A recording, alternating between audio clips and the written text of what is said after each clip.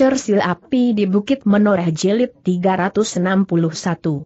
Tetapi kita sudah berada di sini. Mereka tentu akan mencurigai kita, bisik gelagah putih. Orang yang memikul beberapa bumbung legen itu berdiri termangu-mangu. Sementara gelagah putih pun kemudian berkata, Kisana.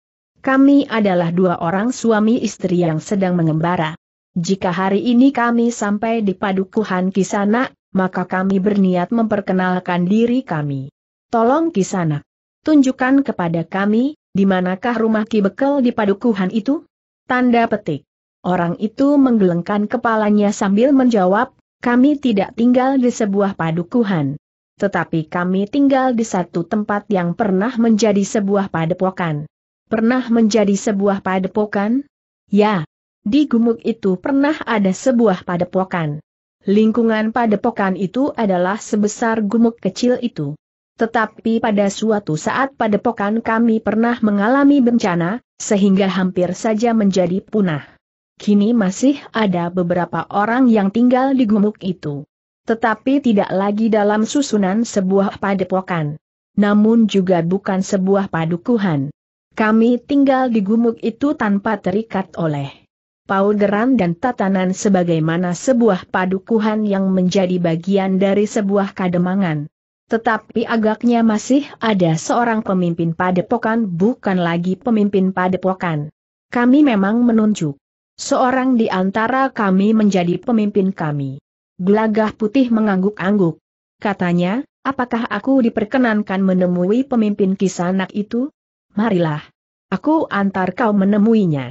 Orang yang memikul legen itu pun kemudian berjalan mendahului gelagah putih dan Rara Wulan. Sementara kedua orang suami istri itu mengikutinya di belakang. Beberapa saat kemudian, mereka pun mulai memanjat naik. Jalannya yang dilapisi tanah liat itu tentu licin di musim hujan. Namun ketika mereka sampai di depan sebuah rumah yang pertama kali mereka temui, mereka melihat bahwa di halaman rumah itu terdapat banyak gerabah yang baru saja dibuat dan masih belum dibakar. Gelagah putih dan Rara Wulan memperhatikan gerabah yang sudah siap untuk dibakar itu dengan sungguh-sungguh. Bahkan Rara Wulan itu pun bergumam, gerabah. Ada jambangan, periuk, kendi dan bermacam-macam alat dapur. Hampir semua orang yang tinggal di bukit ini membuat gerabah, berkata orang yang memikul legen itu, gerabah dan gula kelapa. Itukah penghasilan utama di padukuhan ini? Di padepokan ini. Orang banyak masih menyebut tempat ini sebagai sebuah padepokan, meskipun mereka tahu bahwa tatanannya sudah berubah. Ya, di padepokan ini, gelagah putih mengangguk-angguk. Itulah penghasilan utama kami. Ada beberapa bahu sawah di sebelah sungai kecil itu. Kami pun beternak kambing dan ayam. Anak-anak menggembala di pagi sampai siang hari. Gelagah putih dan Rara Wulan mengangguk-angguk. Tengkulak dari kademangan sebelah sering datang untuk membeli hasil pekerjaan kami, gerabah dan gula kelapa. Gula kelapa tidak. Kami membawanya ke pasar. Mereka hanya membeli gerabah. Tetapi ada pula pedagang kambing dan ayam yang sering datang. Tetapi seperti gula kelapa, kami membawa telur ayam langsung ke pasar. Gelagah putih masih mengangguk-angguk. Kepada Rara Wulan ia pun berdesis, nampaknya penghuni padepokan ini adalah orang-orang yang sanggup bekerja keras.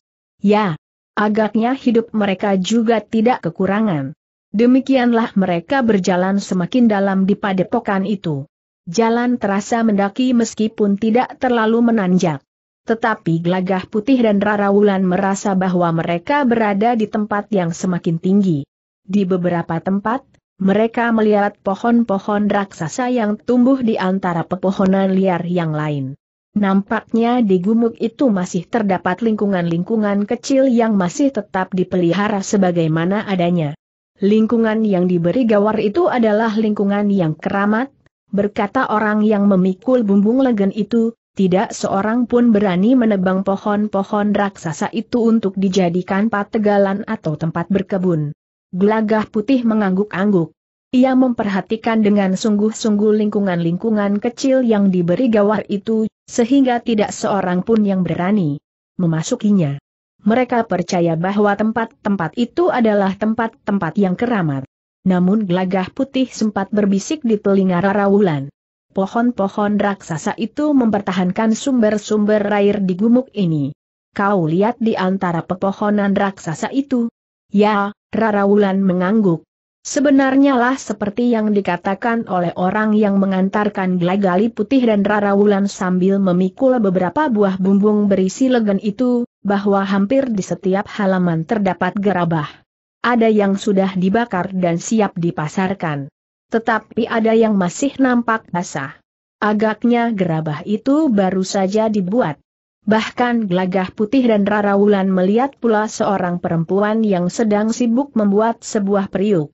Beberapa saat kemudian, maka mereka telah sampai di tempat yang tertinggi di gumuk itu. Di sebuah halaman yang luas, terdapat sebuah bangunan-bangunan yang lain. Lebih besar dari sekedar gandok pendapa yang agaknya sebagai bangunan utama itu. Inilah bekas padepokan kami, berkata orang yang memikul legen itu, sebelum kami bercerai-berai dan membangun rumah kami sendiri-sendiri di atas gumuk ini. Gelagah putih dan Rara Wulan mengangguk-angguk. Beberapa saat mereka berdiri di luar gol halaman yang terhitung cukup luas itu. Siapakah yang sekarang tinggal di rumah ini saudara seperguruan kami yang tertua? Apakah ia yang sekarang memimpin padepokan ini? Ia tidak menyebut dirinya pemimpin padepokan. Ia hanya merasa sebagai orang tertua di padepokan ini. Kenapa ia tidak menggantikan kedudukan guru kalian memimpin padepokan ini? Orang yang memikul legen itu menarik nafas panjang. Katanya, biarlah kakang nanti menyampaikan cerita yang agak panjang itu. Marilah, kita menemuinya. Gelagah putih dan Rara Wulan agak ragu ketika mereka melangkah memasuki regol halaman rumah itu mengikuti orang yang memikul bumbung-bumbung legen itu. Ketika mereka sampai di sebelah bangunan utama, maka orang yang memikul legen itu meletakkan bebannya. Ia pun kemudian masuk lewat pintu samping untuk memberitahukan bahwa ada dua orang tamu yang datang ke padepokan itu. Sejenak kemudian, maka gelagah putih dan Rara Wulan pun telah diterima oleh orang tertua di lingkungan yang masih saja disebut sebuah padepokan itu, sementara orang yang memikul legen itu pun langsung minta diri. Kenapa tidak duduk di sini sebentar, bertanya pemimpin padepokan yang lebih senang disebut saudara tertua itu. Orang yang membawa legen itu pun menjawab, aku masih ada kerja lain, kakang. Baiklah. Nanti saja jika kerjamu sudah selesai, datanglah kemari. Ya, kakang. Orang itu pun melangkah menuju ke regol halaman dan kemudian turun ke jalan.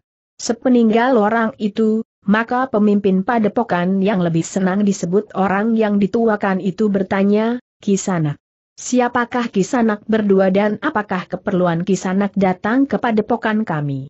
Gelagah putih dan Rara Wulan termangu-mangu sejenak. Mereka sempat mengamati pemimpin padepokan itu.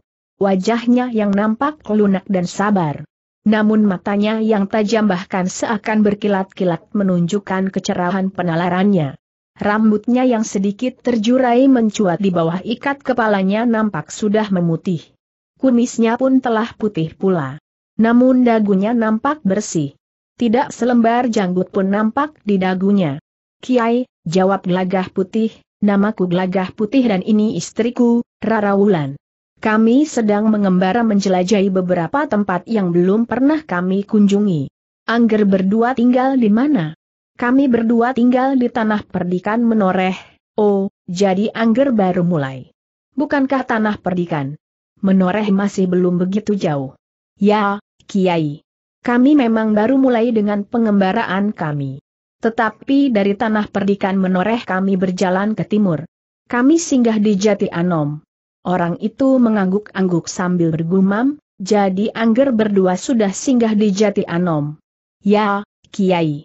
Kami kemudian menyusuri kaki Gunung Merapi di sisi selatan. Jika Angger berjalan sedikit ke barat dan menyeberang kali Praga, maka Angger berdua akan berada di sebelah utara tanah perdikan menoreh. Jika Angger menyusur ke selatan, Angger akan sampai ke rumah kembali. Ya, Kiai. Tetapi kami belum ingin pulang. Kami akan mengembara ke barat untuk melihat cakrawala yang lebih luas. Mungkin di perjalanan kami, kami akan mendapatkan pengalaman yang menarik dan dapat memperkaya nalar budi kami. Orang tua itu mengangguk-angguk. Tetapi ia pun kemudian bertanya, tetapi apakah yang sebenarnya kalian cari, Ger? Pengalaman yang bagaimana yang kalian inginkan untuk membangun sebuah keluarga yang baik kecuali jika Angger membawa kewajiban lain dari sekedar membina rumah tangga kalian. Gelagah putih menarik nafas panjang. Bagaimanapun juga ia tidak dapat mengatakan, tugas yang sebenarnya diembannya. Karena itu, maka ia pun menjawab, Kiai. Apakah salahnya jika kami berdua melihat-lihat lingkungan yang lebih luas dari lingkungan hidup kami sehari-hari? Setiap pagi kami berdua bangun membersihkan halaman, menimba air, sementara istriku menyalakan api dan merebus air. Kemudian aku pergi ke sawah, sementara istriku masak di rumah.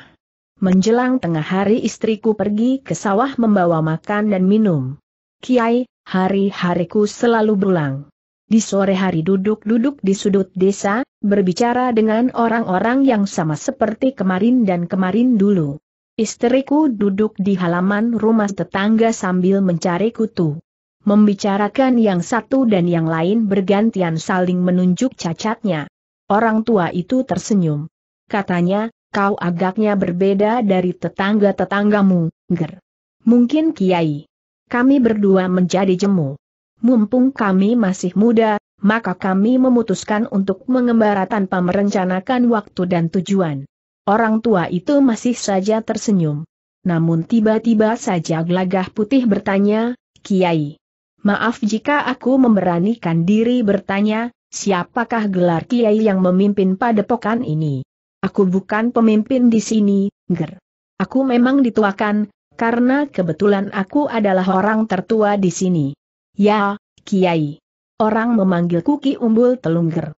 Panggilan itu agaknya dihubungkan dengan keberadaan tiga buah umbul yang airnya berwarna kebiru-biruan di bukit kecil ini. Sedangkan namaku sendiri yang diberikan oleh orang tuaku adalah Supakat.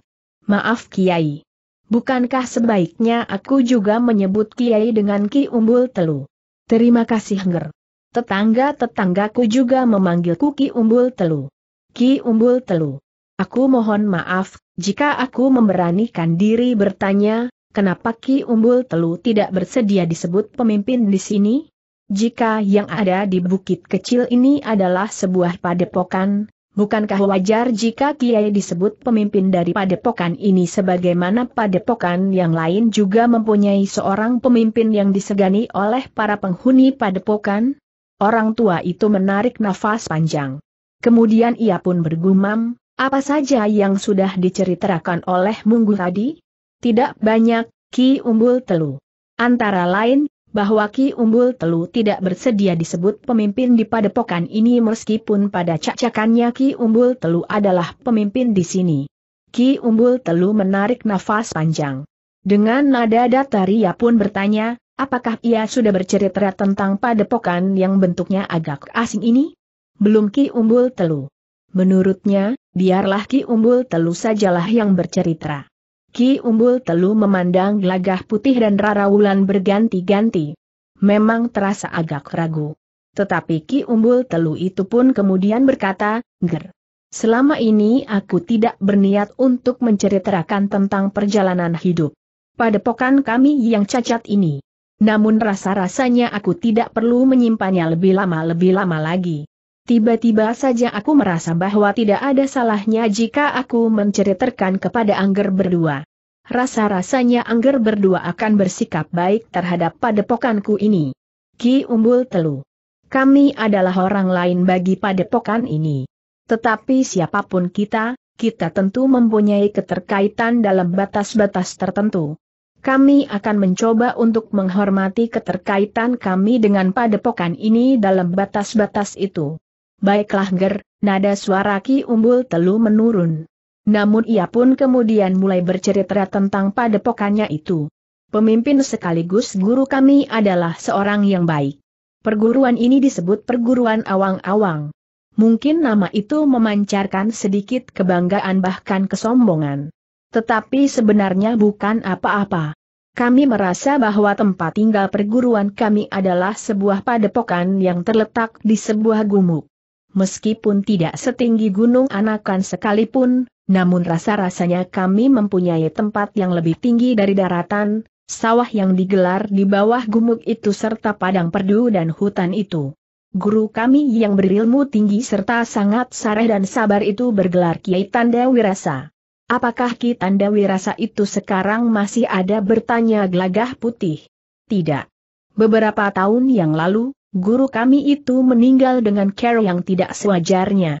Maksud Ki Umbu Telu? Beberapa orang murid perguruan awang-awang ini telah memberontak. Memberontak? Mereka mengira guru mempunyai sejumlah harta karun yang disembunyikan. Entah dari mana datangnya cerita itu. Jadi mereka memberontak karena menginginkan harta karun itu? Ya. Menurut cerita yang mereka dengar, guru mempunyai harta karun yang sangat banyak. Harta karun yang diketemukan di bukit kecil ini.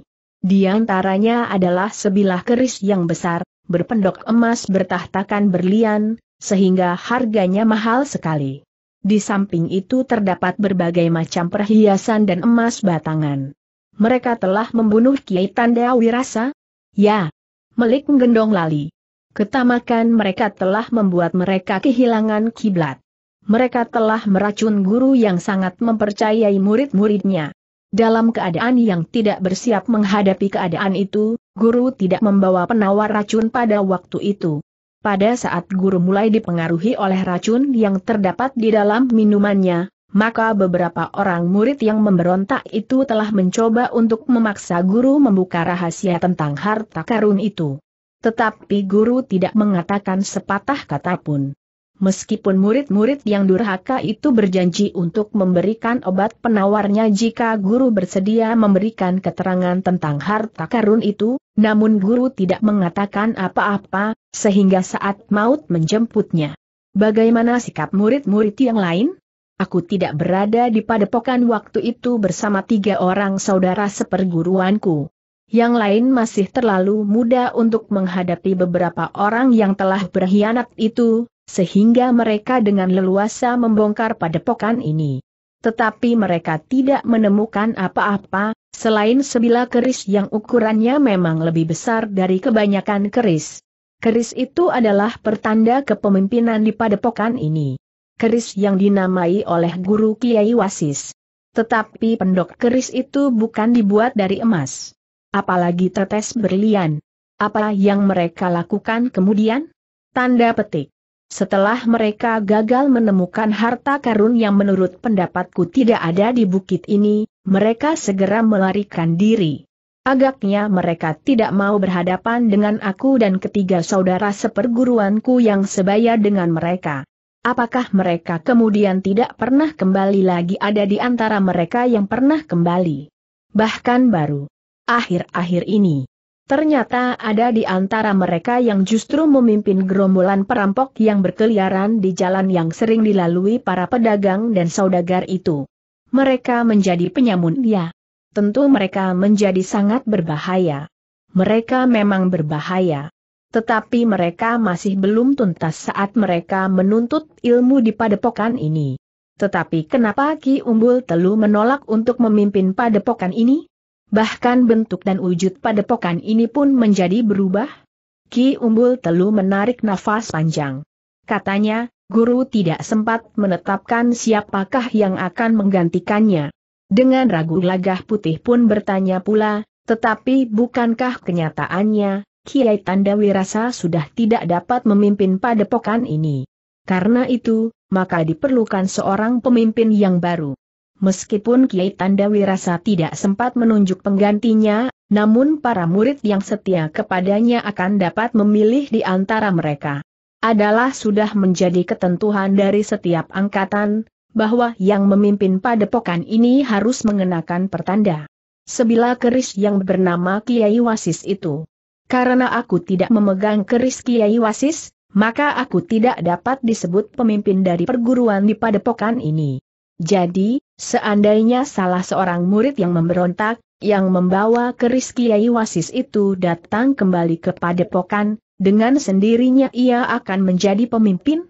Tentu saja mereka tidak berhak meskipun ada di antara mereka yang membawa keris Kiai Wasis, karena mereka mendapatkannya dengan cara yang tidak sah. Rara Wulanlah yang kemudian bertanya, padepokan ini sekarang wujudnya sudah berubah, Ki Umbul Telu. Kenapa pembahan itu harus terjadi?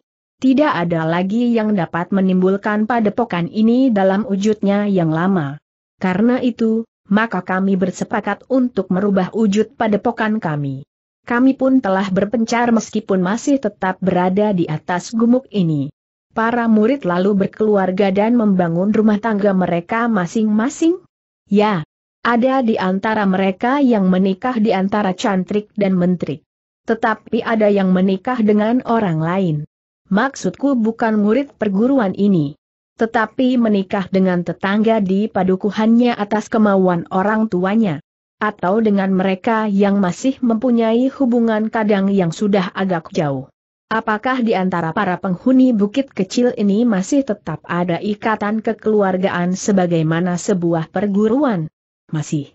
Kami masih tetap sekeluarga kami masih tetap meningkatkan kemampuan kami. Bukan saja dalam olah kanuragan, tetapi kami berusaha meningkatkan hasil kerja kami. Kerja di sawah, pembuatan gerabah, anyaman bambu, dan lain-lain, sehingga hasil kerja kami pun meningkat harganya, namun suara Ki Umbul Telu merendah, tetapi akhir-akhir ini pasaran kami menurun. Terutama hasil kerja kami keadaan agaknya tidak begitu menguntungkan bagi kami. Justru karena jalur perdagangan yang terganggu itu. Ki Umbul Telu, berkata gelagah putih kemudian, aku minta maaf, bahwa pertanyaanku telah menjalar sampai ke mana-mana. Dalam hubungannya dengan para perampok dan penyamun, apakah Ki Umbul Telu tidak dapat berbuat apa-apa, jika Ki Umbul Telu dapat bekerja sama dengan para demang dan para pedagang yang lewat maka lingkungan ini tentu akan menjadi ramai kembali. Aku juga sudah berpikir ke arah itu, ger. Tetapi aku masih ragu-ragu. Aku tidak tahu sikap para demang.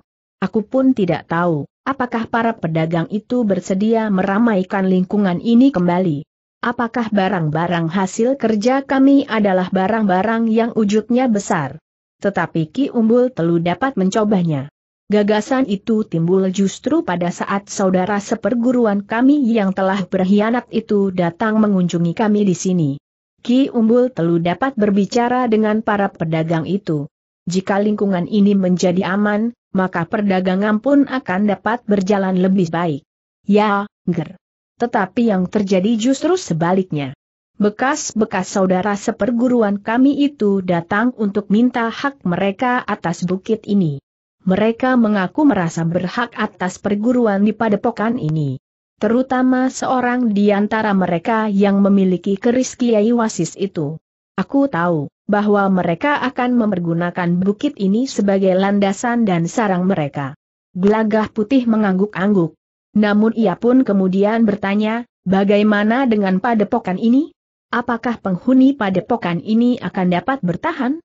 Aku tidak mencemaskannya, ger. Setiap orang di padepokan ini, laki-laki dan perempuan, kecuali anak-anak akan dapat turut membela padepokannya. Bahkan perempuan yang datang ke bukit ini sebagai seorang istri, yang semula sama sekali belum pernah bersentuhan dengan ilmu kanuragan, kini mereka merupakan bagian dari kami. Sementara itu, di bangunan induk ini ada beberapa orang anak muda yang berlatih dengan tekun dan bahkan sudah memiliki tataran yang tinggi.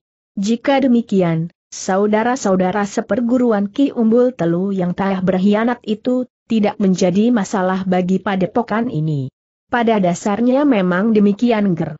Tetapi mungkin saja mereka akan datang dalam jumlah yang besar jika mereka berhasil menghimpun para perampok dan penyamun untuk bekerja sama. Aku kira mereka akan mengalami kesulitan untuk bekerja sama dalam arti sepenuhnya dan sejujur-jujurnya. Mereka justru akan bersaing dan yang satu berusaha menghancurkan yang lain. Aku sependapat ngger. Tetapi mereka dapat saja untuk sementara bekerja sama. Baru kemudian mereka berebut, Siapakah yang akan berkuasa di sini?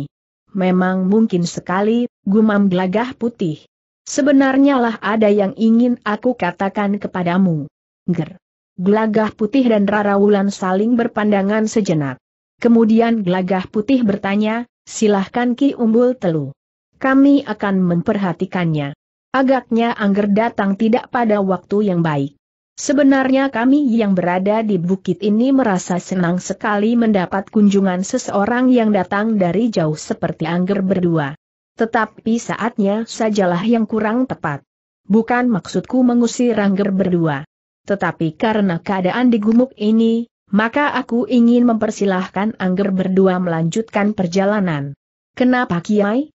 Seperti yang sudah aku katakan, murid dari perguruan ini yang telah berkhianat itu telah datang kembali untuk menuntut hak mereka. Mereka yang dahulu tidak mau berhadapan dengan aku dan saudara-saudara seperguruan yang sebaya, kini justru datang untuk menantang. Ternyata mereka datang bersama kelompok mereka yang baru, para perampok dan penyamun. Mereka akan datang setiap saat ngger. Jika pada saat mereka datang Angger berdua berada di sini, maka kedatangan mereka itu akan dapat membahayakan jiwa Angger berdua. Saudara-saudara seperguruan kami itu adalah orang-orang yang tidak berjantung, yang telah sampai hati membunuh gurunya sendiri karena ketamakan mereka terhadap harta benda duniawi. Apalagi terhadap orang lain. Tetapi bukankah mereka masih belum tuntas pada saat mereka berguru di sini? Bukankah dengan demikian, mereka tidak akan dapat melampaui kemampuan Ki Umbul Telu dan saudara-saudara seperguruan yang lain? Kebanyakan di antara kami masih juga belum tuntas pada waktu guru meninggal. Untunglah bahwa kami berempat telah mendapat kesempatan untuk menguasai semua unsur dari ilmu di perguruan awang-awang ini sehingga kami mampu mengembangkannya dan membimbing saudara-saudara seperguruan kami yang lebih muda yang kini masih berada di bukit ini. Ki Umbul Telu. Bukankah dengan demikian, kami berdua tidak perlu menjadi cemas bahwa hidup kami akan terancam seandainya saudara-saudara seperguruan Ki Umbul Telu yang telah berkhianat itu datang kemari. Ger. Sudah aku katakan. Aku tidak tahu, seberapa banyak orang yang akan datang. Jika mereka yang datang itu melampaui batas kemampuan kami, maka bahaya itu akan timbul. Ki Umbul Telu, berkata gelagah putih kemudian, kami mengembara untuk mendapatkan pengalaman yang akan dapat menjadi bekal bagi hidup kami kelak. Karena itu, jika Ki Umbul Telu berkenan, kami justru ingin menunggu kedatangan saudara-saudara seperguruan Ki Umbul Telu yang telah memberontak itu, yang kemudian justru datang untuk menuntut haknya berdasarkan pada pertanda kepemimpinan yang mereka miliki dengan care yang tidak sah adalah satu pengalaman yang menarik untuk mengenal orang-orang yang sampai hati berbuat demikian. Angger berdua. Aku yakin bahwa sebelum memutuskan untuk pergi mengembara, Angger tentu sudah memiliki bekal untuk melindungi diri sendiri di perjalanan. Meskipun demikian, jika terjadi sesuatu atas Angger berdua di sini, maka kami akan merasa bersalah, karena Angger berdua adalah tamu kami. Tidak, Ki Umbul Telu. Meskipun kemampuan kami tentu tidak sekuku ireng dibanding dengan kemampuan penghuni padepokan ini, tetapi kami berjanji tidak akan menyulitkan Ki Umbul Telu serta sanak kadang yang ada di padepokan ini. Kami akan berusaha melindungi diri sendiri, maka kami tidak akan menyalahkan siapa-siapa. Ki Umbul Teluak pun tidak perlu merasa bertanggung jawab atas kegagalan kami. Namun semoga keberadaan kami di sini akan dapat meskipun hanya seperti setitik air di lautan, ikut memikul beban perlawanan Ki Umbul Telu dan sana kadang di padepokan ini. Ki Umbul Telu menarik nafas panjang. Katanya dengan nada dalam. Sikap Angger telah menyentuh hatiku dan tentu juga saudara-saudarku. Atas nama seisi padepokan ini aku mengucapkan terima kasih, tetapi kami tidak ingin menyulitkan Angger berdua yang masih akan menempuh perjalanan panjang. Ki Umbul Telu. Kami akan merasa senang sekali jika Ki Umbul Telu mengizinkan kami untuk tinggal di bukit ini barang satu dua hari. Jika prahara itu datang, Kami justru ingin mengalaminya. Ki Umbul Telu termangu-mangu sejenak. Namun pembicaraan mereka tertunda ketika orang yang memikul legen itu datang kembali ke bangunan utama padepokan itu. Tetapi ia sudah tidak membawa legennya lagi. Marilah mungguh pratela. Naiklah, berkata Ki Umbul Telu mempersilahkan. Orang yang disebut mungguh pratela pun segera naik dan duduk bersama Ki Umbul Telu, Gelagah Putih dan Rara Wulan. Kakang, berkata Ki Mungguh Pratela, aku baru saja ditemui oleh Damar. Damar? Ada apa? Ki Mungguh Pratela termangu-mangu sejenak sambil memandangi gelagah putih dan Rara Wulan. Namun Ki Umbul Telu pun berkata, katakan. Aku percaya kepada Angger Gelagah Putih dan istrinya meskipun aku baru saja mengenalnya. Ki Mungguh Pratela mengangguk-angguk kecil. Meskipun demikian agaknya ia masih saja ragu. Karena itu, maka Ki Umbul Telu pun berkata sekali lagi, katakan, Mungguh Pratela. Ki Mungguh Pratela menarik nafas panjang.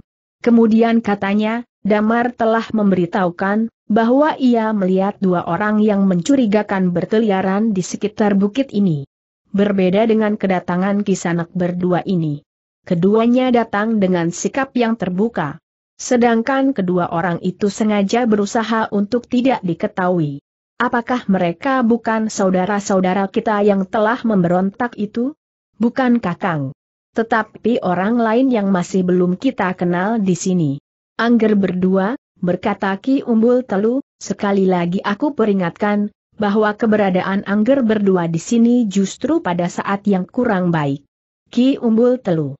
Kami mohon agar kami diperkenankan untuk berada di padepokan ini.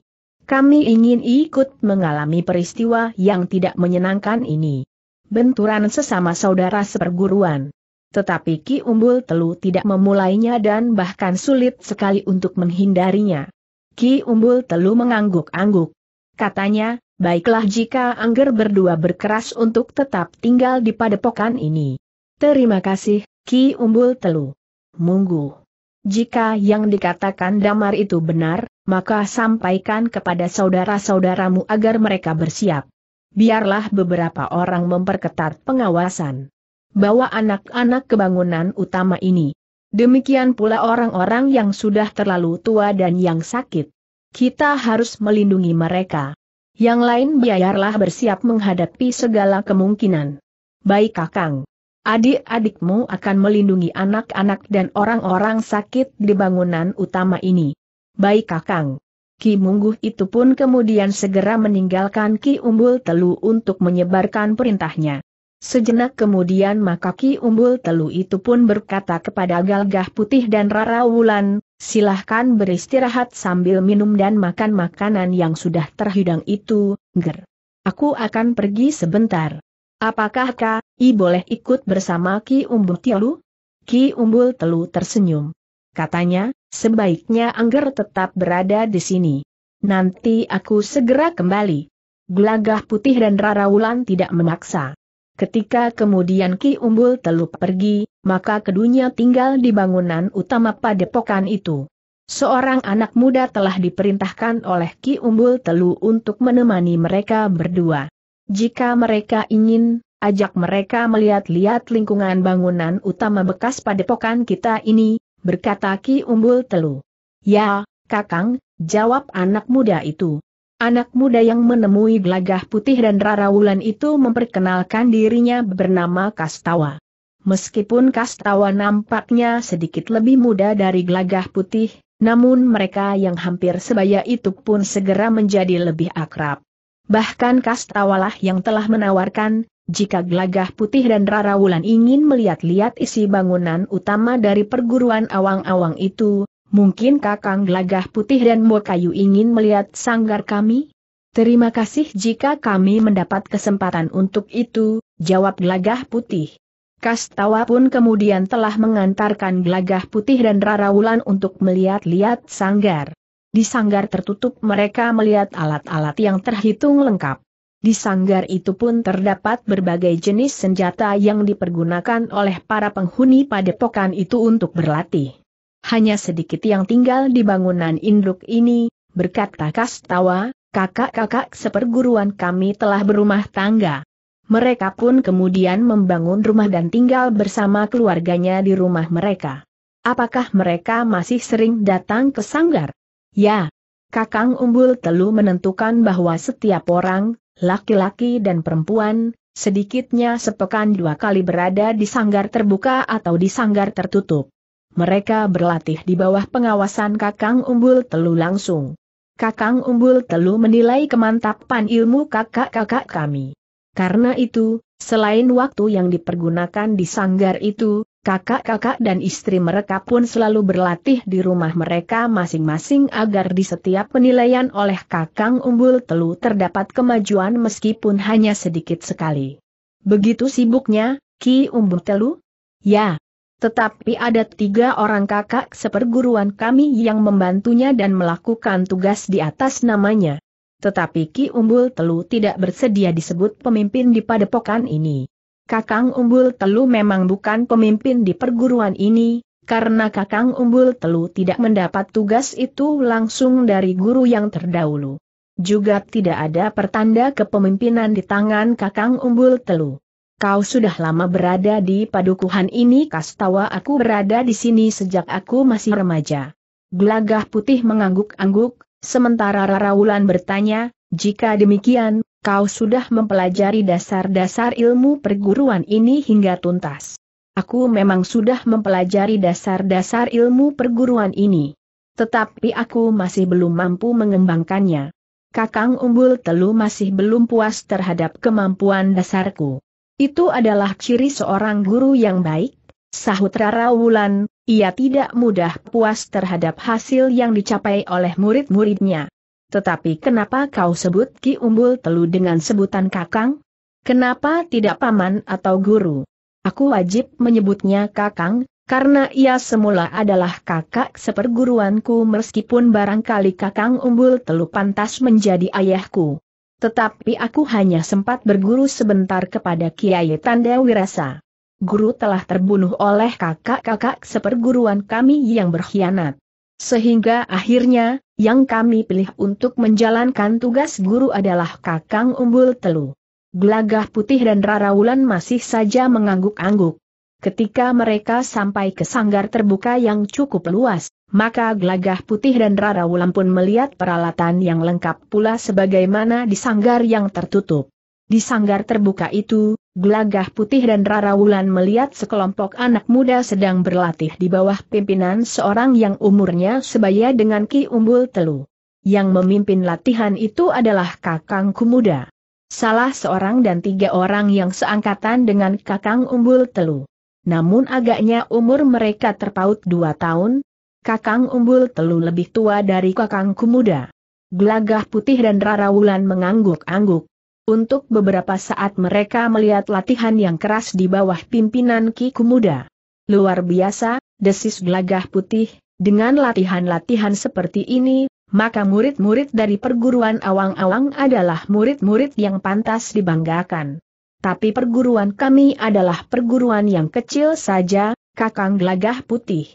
Setelah terjadi pengkhianatan itu, maka kami seakan-akan telah menutup diri. Meskipun demikian, kekuatan yang tersimpan di dalamnya adalah kekuatan yang sangat besar. Terima kasih atas pujian itu, Kakang. Tetapi sebenarnya lah kami merasa sangat rendah diri terhadap perguruan-perguruan yang lain yang pernah kami dengar namanya. Gelagah putih tidak menyaut. Ia tidak sepantasnya memberikan penilaian kepada kemampuan para murid dari padepokan itu. Ketika latihan itu sedang beristirahat, maka Kastawa pun telah memperkenalkan Gelagah Putih dan Rarawulan kepada Ki Komuda, yang menanggapinya dengan ramah. Namun seperti Ki Umbul Telu, maka Ki Komuda pun berkata, Angger berdua datang pada saat yang buruk. Ya, Ki Komuda. Tadi Ki Umbul Telu juga sudah mengatakannya kepada kami. Sebaiknya Angger berdua meninggalkan padepokan kami. Kami tentu tidak ingin jika Angger berdua tidak tahu menahu persoalannya, akan mengalami kesulitan di padepokan ini. Aku sudah minta izin kepada Ki Umbul Telu untuk tetap berada di padepokan ini, Ki Kumuda. Dalam pengembaraan kami, kami ingin mengalami banyak hal yang dapat memperkaya cakrawala wawasan kami. Juga tentang pengkhianatan oleh saudara seperguruan. Kami sudah berjanji bahwa kami akan bertanggung jawab atas keberadaan kami di sini. Maksud kami, kami tidak akan menyalahkan siapa-siapa jika kami gagal melindungi diri kami sendiri. Ki Kumuda menarik nafas panjang. Katanya, sebenarnya, jujur saja, setiap kekuatan betapapun kecilnya yang bersedia berdiri di pihak kami, akan kami sambut dengan gembira dan pernyataan terima kasih. Tetapi Angger berdua kebetulan adalah suami istri yang sedang mulai memasuki manisnya hidup berkeluarga. Terima kasih atas kepedulian Ki Kumuda. Tetapi perkenankan aku tetap berada di bukit kecil ini.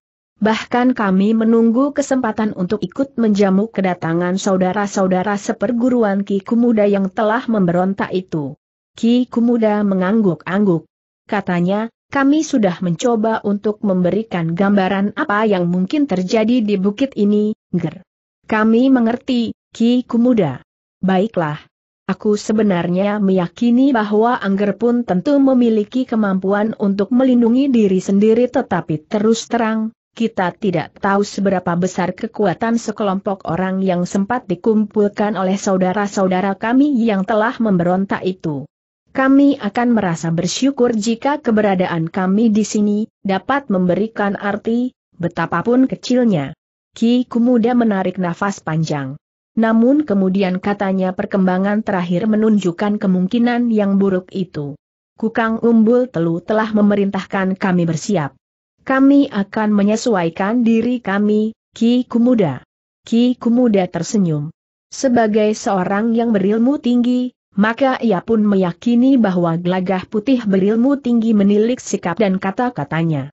Tetapi Ki Kumuda tidak tahu tataran yang sebenarnya dari ilmunya serta ilmu istrinya yang menyertainya itu.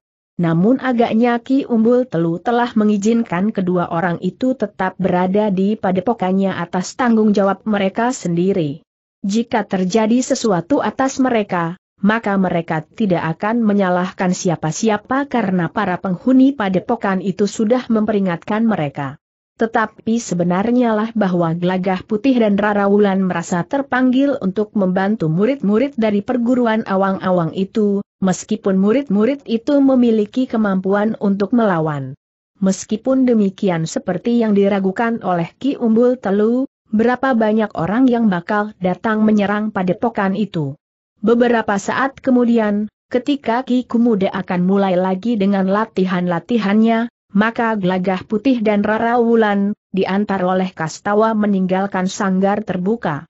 Mereka masih melihat-lihat beberapa bagian dari bangunan induk di atas gumuk yang dikebut sebuah padepokan itu. Namun agaknya keadaan berkembang menjadi semakin buruk. Tanda-tanda bahwa saudara-saudara seperguruan Ki Umbul Telu yang telah memberontak untuk datang bersama kekuatan yang besar menjadi semakin jelas. Bahkan dua orang yang tidak dikenal telah datang menemui Ki Umbul Telu. Silahkan duduk di sana, Ki Umbul Telu mempersilahkan. Tetapi kedua orang itu menolak. Seorang di antara mereka berkata, aku hanya datang untuk menyampaikan pesan. Siapkan upacara penyerahan pimpinan perguruan ini. Semua penghuni padepokan ini harus hadir. Ki Umbul Telu menarik nafas panjang. Katanya, Ki Sanak. Kembalilah kepada orang yang mengutus Kisanak datang ke padepokan ini. Biarlah orang itu sendiri datang. Dengan demikian maka kami akan dapat berbicara dengan baik-baik. Tidak ada pembicaraan apa-apa. Hanya ada dua pilihan. Menyerahkan kepemimpinan padepokan ini atau padepokan ini akan dihancur leburkan. Kisanak sudah tentu bahwa kami tidak akan dapat menyerahkan padepokan ini untuk menjadi sarang perampok dan penyamun. Siapakah yang mengatakan bahwa padepokan ini akan menjadi sarang perampok dan penyamun? Jika aku menyerahkan kepemimpinan padepokan ini kepada orang yang memerintahkanmu kemari, itu berarti bahwa aku menyerahkan padepokan ini kepada kekuasaan segerombolan perampok dan penyamun. Bahkan murid-murid dari perguruan ini pun akan dipaksa menjadi perampok dan penyamun pula. Kau mempunyai waktu semalam untuk memikirkannya, Ki Umbul Telu. Jika kau sependapat untuk menyerahkan kepemimpinan padepokan ini, kau harus mengibarkan kelebek berwarna putih di gerbang padepokan yang sudah kau rusak bentuknya ini. Kisanak. Kami tidak akan berubah pendirian. Kami tidak akan menyerahkan kepemimpinan padepokan ini kepada siapa pun juga. Kau harus menyerahkannya kepada yang berhak. Kepada yang memiliki pertanda kepemimpinan dari padepokan ini. Tidak. Kami pun harus menilai, cara yang dipergunakannya untuk memiliki pertanda kepemimpinan itu. Terserah kepada Ki Umbul Telu. Jika kau keras kepala, maka isi padepokan ini akan ditumpas sampai habis. Kemudian yang akan tinggal di padepokan ini adalah penghuni-penghuni baru. Kami akan mempertahankannya sampai orang yang terakhir. Iblis kau umbul telu. Ternyata kau adalah pembunuh yang tidak ada duanya. Kau bunuh orang-orangmu dengan tanpa belas kasihan. Fitnah yang kau lontarkan lewat mulutmu yang buruk itu tidak akan menggetarkan jantung kami. Sekarang pergilah. Katakan kepada murid-murid perguruan awang-awang yang telah berkhianat itu. Kami menunggu. Kami siap menghukum mereka karena pengkhianatan mereka itu. Kau akan ditelan oleh kesombonganmu sendiri. Ternyata kau adalah seorang yang sangat picik, yang tidak tahu seberapa besar kekuatan kami. Yang besar sebenarnya bukannya kekuatan kalian. Tetapi mungkin jumlah kalian perampok dan penyamun selalu mengandalkan kepada kekuatan dan keberanian. Tetapi tidak dilandasi dengan ilmu kanuragan yang mapan. Persetan, geram yang seorang lagi. Lalu katanya kepada kawannya, marilah kita tinggalkan tempat ini. Esok pagi-pagi sekali, jika tidak ada kelebek berwarna putih di gebang, bukit ini akan menjadi neraka. Kami siap menunggu kedatangan kalian. Jika bukit ini menjadi neraka, maka kalianlah yang akan terbakar di neraka ini. Kedua orang itu pun segera meninggalkan Ki Umbul Telu. Namun seorang di antaranya masih sempat mengancam, jika kau melawan Ki Umbul Telu, kepalamu akan dipenggal dan ditanjir di pintu gerbang sebagai peringatan agar tidak seorang pun dari murid-murid perguruan ini yang berani menentang pemimpinnya yang memang berhak memegang pimpinan di perguruan ini. Sudahlah kisana. Kau tidak tahu menahu tentang tatanan dan paugeran di perguruan ini. Pergilah. Dan katakan sebagaimana aku katakan. Besok kami seperguruan ini akan menyambut kedatangan kalian dengan hangat. Kedua orang itu tidak berkata apa-apa lagi. Keduanya pun segera pergi meninggalkan padepokan itu.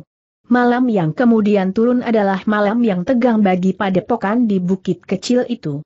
Semua anak-anak telah diungsikan di bangunan utama perguruan awang-awang yang telah berubah bentuknya. Sebagian dari murid-murid yang masih terhitung muda akan menjaga mereka. Selebihnya, meskipun mereka masih semua kastawa, namun mereka sudah pantas dilepas langsung menghadapi lawan. Mereka telah memiliki bekal yang cukup, karena mereka sudah terhitung cukup lama berada di padepokan itu. Dalam pada itu, setiap orang di padepokan itu pun telah mempersiapkan diri. Laki-laki dan perempuan. Bahkan ada di antara perempuan yang memiliki kemampuan melampaui suaminya dalam olah kanuragan. Kesiagaan setiap perempuan di padepokan itulah yang terlepas dan perhitungan murid-murid perguruan awang-awang yang telah memberontak itu. Mereka tahu, bahwa di perguruan itu ada beberapa orang murid perempuan. Tetapi mereka tidak tahu, bahwa perempuan yang kemudian menikah dengan murid perguruan itu dan kemudian berada di padepokan, juga telah ditempa untuk menjadi bagian dari murid-murid perguruan awang-awang. Sementara itu tiga orang yang dianggap tertua di samping Ki Umbul Telu, telah mengatur pertahanan dengan sebaik-baiknya mereka pun telah mempersiapkan diri untuk melawan. Saudara-saudara seperguruan mereka yang telah memberontak dan membunuh guru mereka. Kesempatan untuk menghukum mereka, berkata Ki Komuda, seorang di antara ketiga orang itu. Ya, kita tidak akan melepaskan mereka, sahut Ki Lampita. Ki Ganjur, yang termuda di antara ketiga orang tua itu menyahut, kita buktikan, bahwa perguruan ini masih kokoh. Tetapi siapakah di antara saudara-saudara kita yang memberontak itu yang membawa keris Kiai Wasis? Tidak jelas.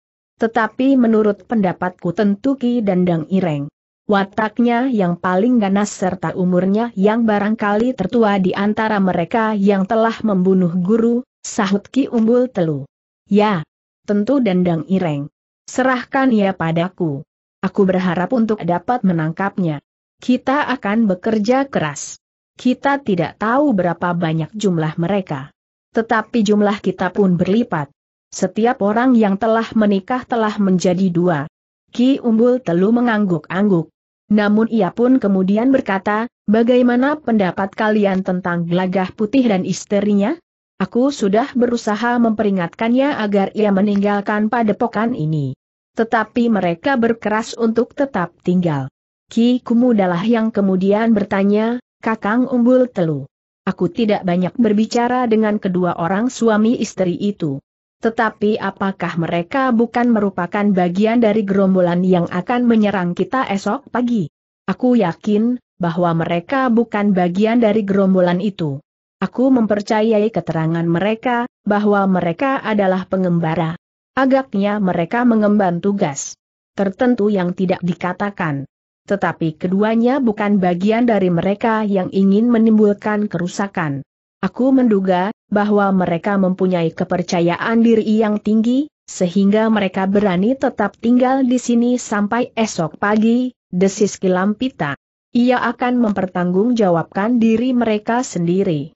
Jika terjadi sesuatu atas mereka, mereka tidak akan menyalahkan siapa-siapa. Apakah mereka akan berpihak dan membantu kita, Bertanya Ki Ganjur. Menurut pengakuan mereka, mereka akan membantu kita sejauh dapat mereka lakukan, jawab Ki Umbul Telu. Jika benar-benar bantuannya ada artinya, kita tentu mengucapkan terima kasih kepada mereka. Sebaiknya aku akan menemui mereka sekali lagi untuk mengabarkan perkembangan terakhir dari kemungkinan kedatangan gerombolan itu.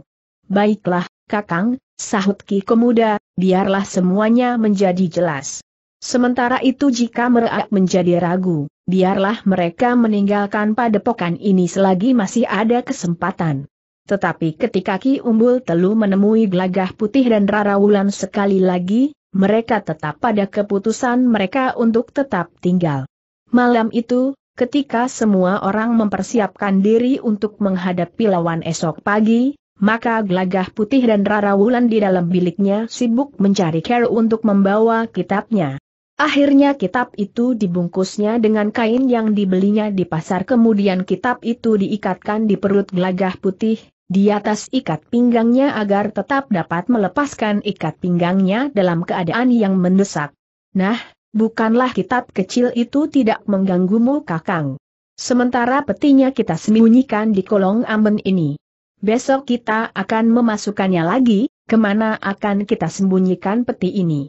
Kau justru lebih memikirkan petinya daripada kitabnya, desis gelagah putih. Tentu tidak. Bukankah kitabnya sudah kakang amankan di perut kakang itu? Kalau aku mandi, Rara Wulan mengerutkan dahinya. Namun ia pun kemudian menjawab, jika kau mandi, aku yang membawanya. Bukankah tidak akan terlalu lama, Gelagah putih tersenyum. Lalu katanya, sekarang kita tidur, bergantian. Kau tidur dahulu, kemudian aku berjaga-jaga. Ah, kakang, Rara Wulan pun kemudian tertawa tertahan. Di dini hari, keduanya telah mempersiapkan diri sebaik-baiknya. Mereka pun bergantian pergi ke Pakiwan. Ketika kemudian mereka naik ke peringgitan bangunan utama di padepokan itu, Ki Umbul Telu telah bersiap pula bersama dengan ketiga orang saudaranya yang hampir sebaya itu pun mempersilahkannya. Kita akan makan pagi seadanya. Mungkin kita tidak akan sempat makan di siang hari dan bahkan di sore hari. Atau kita tidak akan pernah memerlukan makan lagi, berkata Ki Kumuda. Gelagah putih dan Rara Wulan saling berpandangan sejenak. Namun mereka pun kemudian menyertai orang-orang tertua di padepokan itu untuk makan pagi. Semua orang di padepokan ini juga makan sekarang ini, berkata Ki Umbul Telu ketika ia melihat gelagah putih dan rara. Bulan agak ragu, bahkan anak-anak yang mengungsi di bangunan utama ini. Setelah makan pagi, maka Ki Umbul Telu dan ketiga orang saudara seperguruannya itu pun berkata, kita akan bersiap-siap. Kita akan berada di gerbang padepokan ini. Apakah kami diizinkan ikut bersama Ki Umbul Telu silahkan Angger. Tetapi aku ingin memperingatkan Angger. Sekali lagi. Jika Angger ingin meninggalkan padepokan ini, masih ada waktu. Angger kami persilahkan meninggalkan padepokan ini lewat jalan utara. Tidak Ki Umbul Telu. Aku akan tetap berada di sini.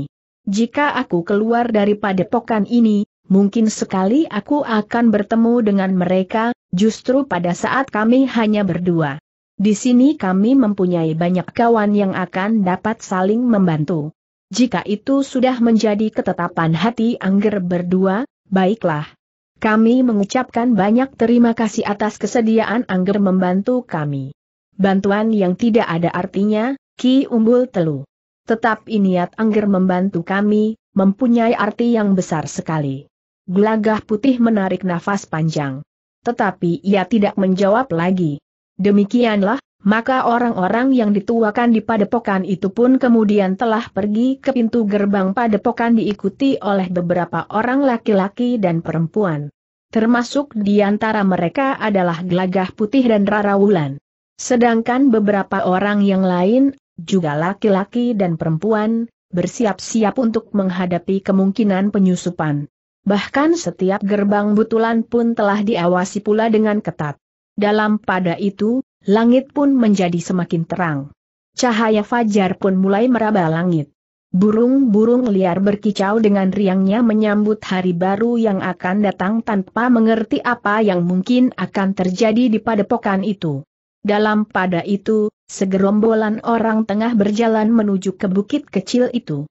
Mereka pun kemudian berhenti beberapa puluh patok dari bukit itu. Sebenarnya lah bahwa yang memimpin segerombolan orang itu adalah Ki Dandang Ireng. Mereka bersama beberapa orang saudara seperguruannya yang telah memberontak dan membunuh guru mereka disertai oleh beberapa kelompok perampok dan penyamun. Mereka berharap dapat merebut bukit itu dan mempergunakannya sebagai sarang yang mapan. Tidak sekedar di pinggir hutan atau di padang perlu. Ketika langit menjadi semakin terang, dua orang di antara mereka pun mencoba untuk melihat, apakah ada kelebet putih di pintu gerbang padepokan itu. Namun kedua orang itu tidak melihatnya. Kedua orang itu bahkan tidak melihat apa-apa dalam keremangan fajar. Jadi tidak ada kelebet putih itu bertanya Ki Dandang Ireng. Tidak, Ki Lurah. Umbul telu agaknya sudah jemu hidup. Ia ingin membunuh dirinya. Tetapi agaknya ia sudah menjadi gila. Ia tidak mau mati sendiri. Ia ingin membawa semua penghuni padepokan itu untuk mati bersamanya. Kita akan membersihkan mereka. Kita akan membersihkan bukit itu dari kedurhakaan mereka yang tidak mau patuh kepada pemimpinnya. Semua orang yang ada di bukit itu akan mati. Bahkan anak-anak sekalipun. Kita akan mengisi padepokan itu dengan orang-orang baru yang mengerti tatanan dan paugeran, berkata seorang yang lain. Seorang pemimpin gerombolan perampok dan penyamun berkata, persetan dengan tatanan dan paugeran. Kami akan tinggal di bukit itu dengan tatanan dan paugeran kami sendiri. Itu tidak mungkin. Jika kita tinggal bersama, kita harus mempunyai tatanan. Sedangkan bukit kecil itu adalah milik kami yang sah. Aku mempunyai pertanda kepemimpinan di padepokan itu. Aku tidak berada di bawah pengaruh pertanda kepemimpinanmu itu. Tetapi di bukit itu, pertanda ini akan berlaku. Pemimpin gerombolan itu memandang Ki Dandang Ireng dengan tajamnya. Namun kemudian ia pun bergumam, baiklah kita akan membicarakannya kelak. Ki Dandang Ireng pun tidak menjawab. Ia memerlukan gerombolan perampok itu untuk menghabisi murid-murid perguruan awang-awang yang masih ada di padepokan yang sudah berubah bentuknya itu. Bahkan dengan garangnya Ki Dandang Ireng itu pun berkata, Aku akan pergi ke pintu gerbang. Hati-hati lurah, desis beberapa orang hampir berbareng. Ki Dandang Ireng pun kemudian mengajak dua orang saudara seperguruannya yang bersama-sama telah memberontak untuk pergi ke pintu gerbang. Ia yakin, bahwa Ki Umbul Telu tentu berada di pintu gerbang itu.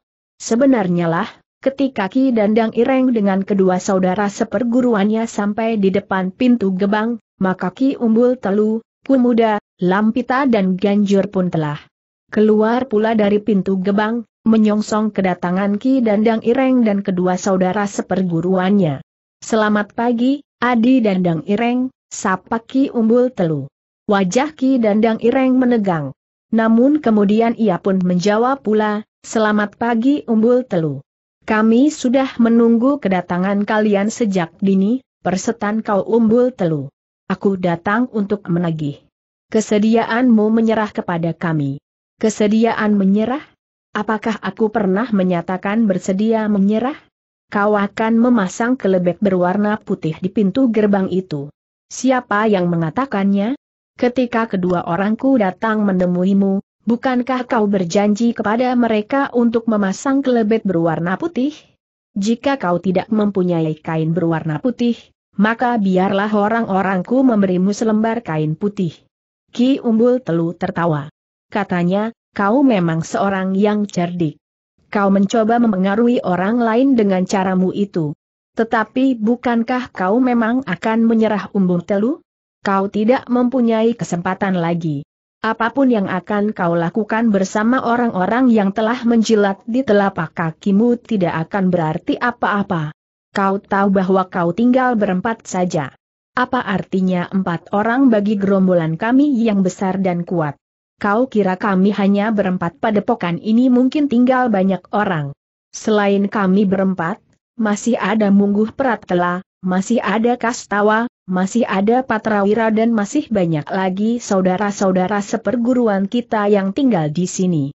Dandang Ireng itu tertawa keras-keras.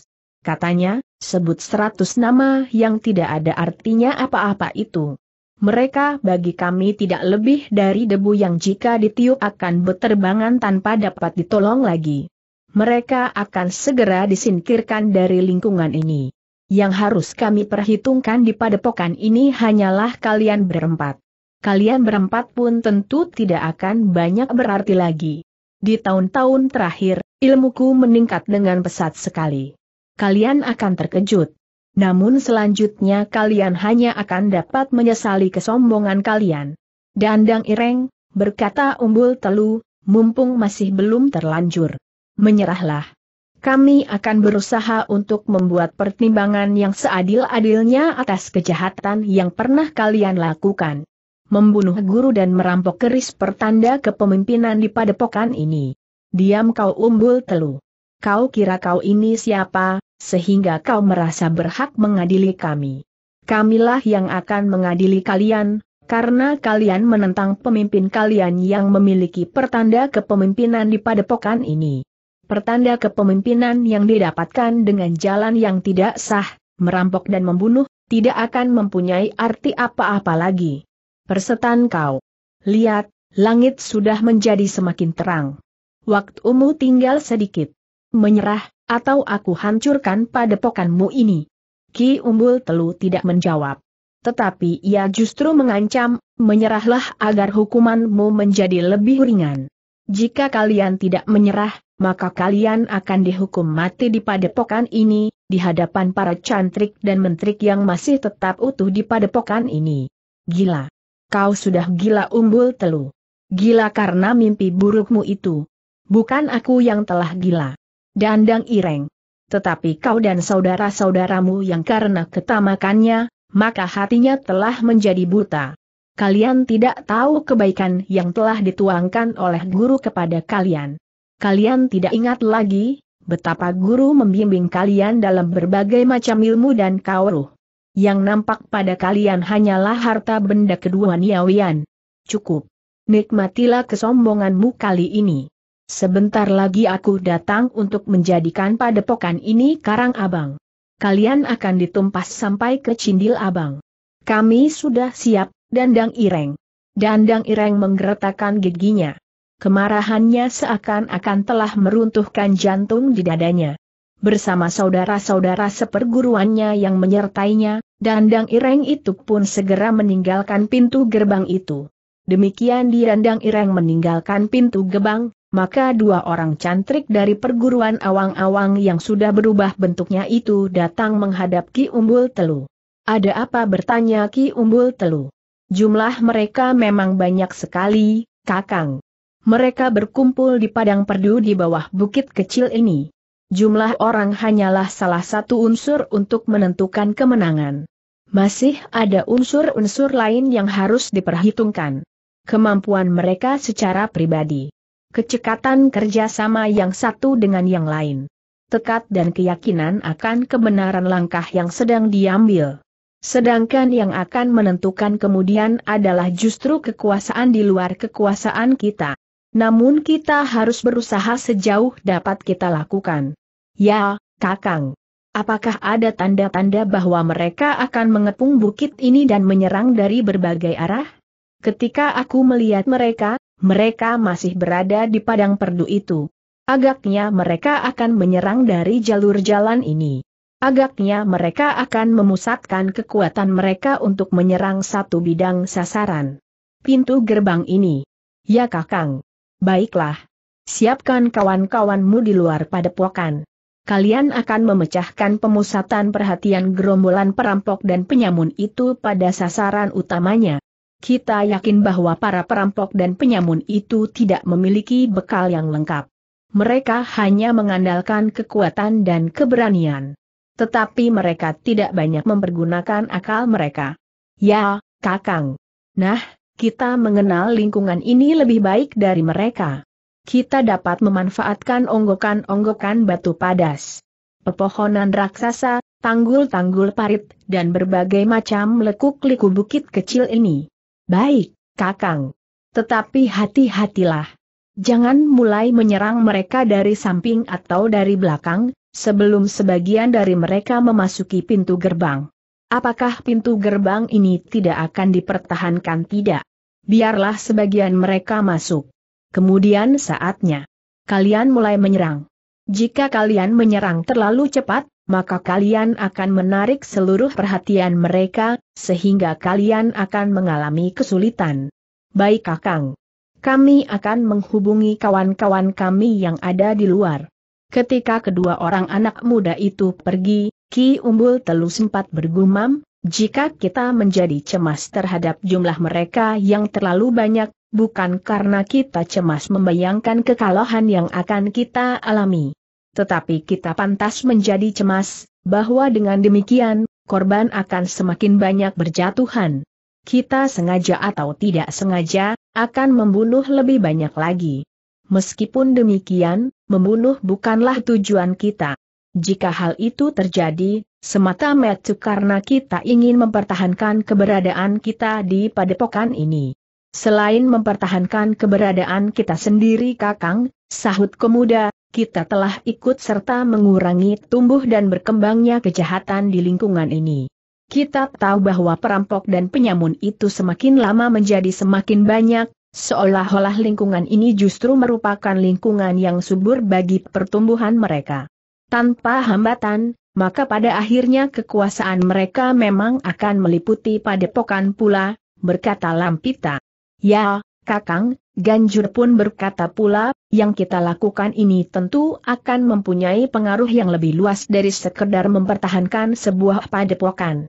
Para demang di sekitar tempat ini semoga mendengar apa yang terjadi di padepokan ini, sehingga mereka pun akan bangkit dan berbuat sebagaimana kita lakukan. Mungkin mereka tidak mempunyai sandaran kekuatan yang memadai. Tetapi jika mereka bersedia bekerja sama dengan kita, maka kita akan dapat membantu memberikan latihan-latihan kepada anak-anak muda kademangan-kademangan itu. Jumlah mereka tentu lebih banyak dari jumlah kita di padepokan ini. Jika beberapa kademangan bangkit bersama, maka jumlah mereka tentu lebih banyak dari jumlah para perampok dan penyamun itu. Ki Umbul Teluk pun mengangguk-angguk. Katanya kemudian, bersiaplah. Sebentar lagi Dendang Ireng dan orang-orangnya tentu akan naik. Keempat orang itu pun kemudian masuk kembali ke dalam regol padepokan. mereka akan membangun pertahanan yang sebenarnya justru di dalam lingkungan padepokan. Namun dalam pada itu, mereka telah menaruh sebagian dari kekuatan mereka di luar padepokan. Gelagah putih dan Rarawulan yang mengetahui bentuk pertahanan Ki Umbul Telu itu pun berkata, apakah kami berdua diperkenankan bergabung dengan para cantrik yang ada di luar padepokan ini? karena mereka berdua tidak mempunyai ikatan tertentu dengan padepokan awang-awang yang sudah berubah bentuknya itu, maka Ki Umbul Telu tidak ingin terlalu banyak mengatur mereka. Dengan kepercayaan yang diyakininya, bahwa keduanya tidak akan berpihak kepada payah perampok, maka Ki Umbul Telu tidak merasa berkeberatan, silahkan Ngger. Biarlah seorang cantrik mengantar Angger berdua menghubungi mereka yang bertugas di luar. Sambil mengangguk hormat gelagah putih pun berkata, terima kasih Ki Umbul Telu. Bersama Rara Wulan, maka gelagah putih telah diantar oleh seorang cantrik untuk menemui para murid perguruan awang-awang yang akan bertempur di luar pintu gerbang padepokan. Mereka berada di tebing-tebing, bongkah-bongkah batu padas dan di antara pepohonan raksasa yang yang tumbuh di sekitar padepokan di kaki bukit kecil itu. Kakang, Bertanya Lampita sepeninggal gelagah putih dan Rara Wulan, apakah keduanya benar-benar dapat dipercaya? Aku percaya kepada mereka. Tetapi seandainya mereka adalah bagian dari para perampok dan penyamun itu, biarlah mereka bergabung dengan kawan-kawannya di luar pintu gerbang. Lampita menarik nafas panjang. Ada sepercik kebimbangan yang mencuat di hatinya. Dalam pada itu, dari pintu gerbang yang terbuka, yang terletak di kaki bukit kecil itu, Ki Umbul Telu dan saudara-saudara seperguruannya mulai melihat gerombolan perampok dan penyamun yang dipimpin oleh Dendang Ireng sedang merayap naik kaki bukit. Namun kemudian hilang dibayangkan pepohonan di kaki bukit itu. Ki Umbul Telu pun segera memberikan perintah kepada murid-murid dari perguruan awang-awang yang telah mempersiapkan diri untuk menyambut kedatangan mereka kita tidak akan mempertahankan pintu gerbang. Tetapi kita harus memancing agar mereka memasuki pintu gerbang itu. Pintu gerbang padepokan itu pun segera ditutup. Beberapa orang telah siap di atas panggungan di sebelah menyebelah pintu gerbang dengan busur dan anak panah siap di tangan mereka. Perlawanan dari panggungan itu akan mendorong niat Dandang Ireng dan orang-orangnya untuk segera memecahkan pintu gerbang yang diselarak dengan kokoh. Namun sebenarnya lah bahwa Ki Umbul Telu tidak ingin mempertahankan pintu gerbang itu. Beberapa saat kemudian, maka Dendang Ireng dan orang-orangnya menjadi semakin dekat dengan pintu gerbang padepokan. Ternyata jumlah mereka memang terlalu banyak bagi murid-murid padepokan awang-awang. Tetapi murid-murid dari padepokan awang-awang itu sama sekali tidak menjadi gentar.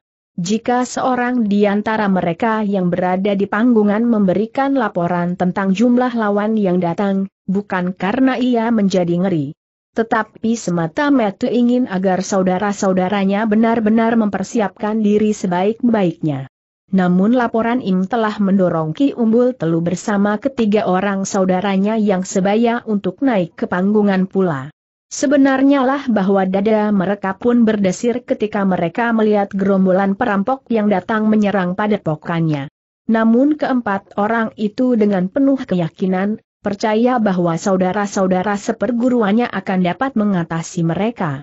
Meskipun jumlah mereka jauh lebih sedikit, tetap dengan memanfaatkan medan, mereka berharap akan dapat membuat lawan mereka kebingungan sehingga perhatian mereka terpecah belah berikan busur dan sejumlah anak panah, berkata Ki Umbul Telu. Ternyata Ki Kemuda, Ki Lampita dan Ki Ganjur juga melakukan hal yang sama. Mereka akan berada di panggungan itu untuk mengurangi jumlah lawan dengan busur dan anak panah. Dalam pada itu, beberapa puluh langkah dari pintu gebang, Dandang Ireng menghentikan pasukannya bersama dua orang saudara seperguruannya Dandang Ireng maju beberapa langkah sambil berteriak, ini adalah kesempatanmu yang terakhir Umbul Telu. Jika kau bersedia menyerah, maka kau akan mendapat tempat yang baik di antara kami. Ki Umbul Telu sama sekali tidak menjawab. Bahkan ia tidak segera menampakkan dirinya di atas panggungan. Umbul Telu, teriaki Dandang Ireng, kau dengar suaraku ini. Jika kau tidak mempergunakan kesempatan terakhir yang aku berikan ini maka aku benar-benar akan menghancurkan padepokan ini. Aku akan membangun di atasnya padepokan yang baru, sesuai sebagaimana padepokan ini sebelumnya. Sebelum kau rusak dengan tatananmu yang menyalahi kemauan guru. Ki Umbul Telu tidak menjawab. Ia yakin bahwa saudara-saudara seperguruannya tidak akan terpengaruh oleh kata-kata dendang ireng itu, karena setiap orang tahu bahwa Dandang Ireng bersama beberapa orang saudara. Seperguruannya yang tamak telah membunuh guru mereka dengan cara yang amat sangat licik. Justru pada saat Ki Umbul Telu, Ki Kumuda dan Ki Ganjur tidak ada di padepokan. Baik, baik, Umbul Telu. Araknya kau telah bersiap untuk mati. Tetapi begitu kelamnya hatimu, sehingga untuk mati kau telah berniat membawa semua murid dari perguruan kita. Ki Umbul Telu masih tetap berdiam diri. Tetapi tangannya telah menjadi gemetar. Rasa-rasanya ia ingin menarik tali busur dan melepaskan anak panahnya. Karena teriakan-teriakannya tidak dapat jawaban, maka dendang ireng itu pun segera meneriakkan aba-aba untuk menyerang. Pecahkan pintu gerbang itu kita akan memasuki padepokan dan menghancurkan segala isinya serta membunuh setiap orang yang ada di dalam padepokan itu. Perintah itu tidak perlu diulang. Pasukannya pun segera bergerak maju memanjat tanah miring di kaki bukit.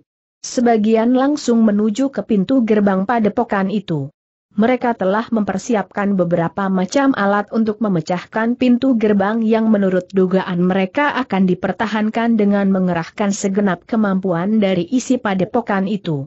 Namun demikian mereka mendekati pintu gerbang, maka anak panah pun segera menghambur dari kedua panggungan di sebelah menyebelah gerbang padepokan. Bahkan Ki Umbul Telu, Ki Kemuda, Ki Lampita dan Ki Ganjur ada di panggungan itu pula. Bidikan para murid perguruan awang-awang itu ternyata jarang sekali meleset. Beberapa orang pun segera terkapar jatuh. Sedangkan yang lain mampu menangkisnya dengan senjata yang ada di tangan mereka. Dalam pada itu, beberapa orang pun berusaha memanjat dinding padepokan yang memang tidak terlalu tinggi. Sementara beberapa orang dengan balok kayu yang besar berusaha memecahkan pintu gerbang. Ki Umbul Telu, Ki Kemuda, Ki Lampita dan Ki Ganjur tidak terlalu lama berada di panggungan. Namun keberadaan mereka di antara saudara-saudara seperguruan mereka yang lebih muda itu telah mengurangi jumlah lawan. Sementara itu beberapa orang yang lain masih tetap berada di panggungan dengan busur dan anak panah. Bahkan ada beberapa orang yang melontarkan lembing berujung tajam. Dalam pada itu, pintu gerbang yang memang sengaja tidak dipertahankan dengan segenap kemampuan itu pun akhirnya pecah. Demikian pintu gerbang itu pecah, maka orang-orang yang menyerang padepokan itu pun segera berserakan memasuki padepokan yang telah berubah bentuknya itu. Padepokan yang bentuknya mirip sebuah padukuhan. Namun isi padukuhan itu adalah orang-orang yang berilmu dan terikat oleh satu perguruan. Namun, demikian mereka memasuki padepokan bagaikan arus air di bendungan yang pecah, maka para penghuni padepokan itu pun telah siap menyambut mereka. Anak panah dan lembing pun segera menghambur dari balik pepohonan, sehingga beberapa orang telah terjatuh terguling dengan anak panah atau lembing tertancap di tubuh mereka. Tetapi yang lain masih juga mampu menangkis serangan-serangan itu dengan pedang, tombak, kapak atau jenis-jenis senjata mereka yang lain. Beberapa saat kemudian telah mengumandang teriakan-teriakan yang keras melintasi tebing dan lurah di bukit kecil itu. Teriakan-teriakan kemarahan berbaur dengan rintih kesakitan.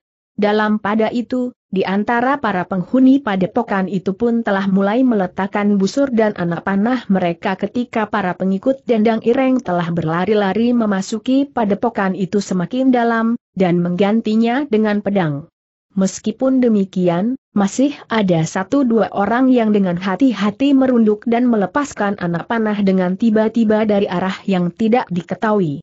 Dengan demikian maka pemanah-pemanah gelap itu merupakan hambatan yang semula tidak diperhitungkan oleh Dandang Ireng. Namun untuk menghadapi lawan yang jumlahnya jauh lebih banyak, maka murid-murid padepokan itu harus melawan mereka dengan mempergunakan otak mereka.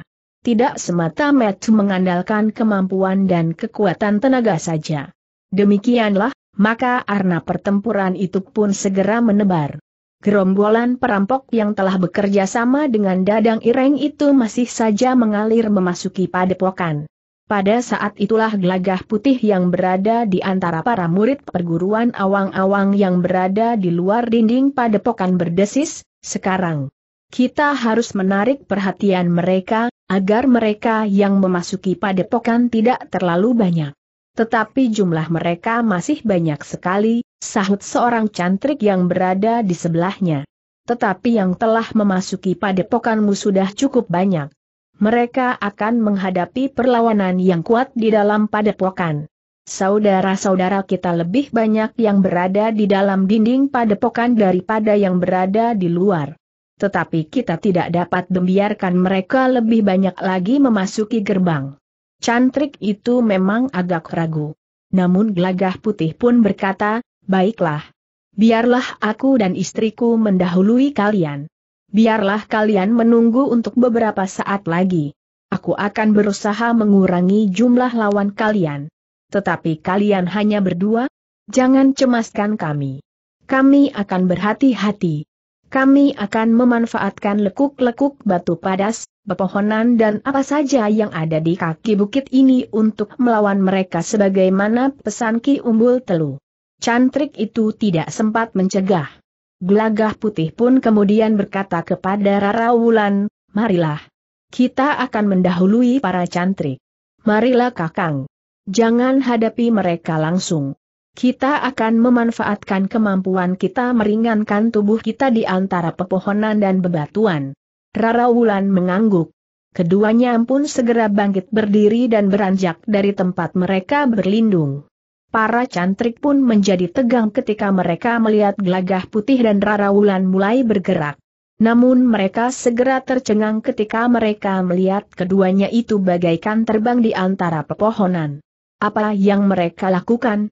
Mereka berlari kencang sekali, sahut yang lain. Apakah keduanya bukan manusia? Tetapi kakinya tetap menyentuh tanah.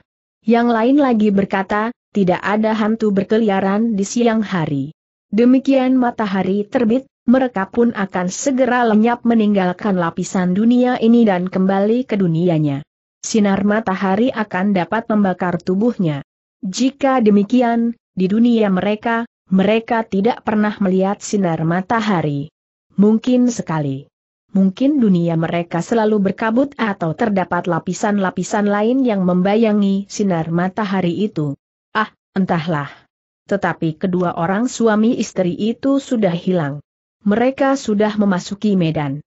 Sebenarnya lah gelagah putih dan Rara Wulan telah mulai menyerang gerombolan perampok yang sedang berdesakan memasuki gerbang padepokan yang tidak terlalu lebar itu.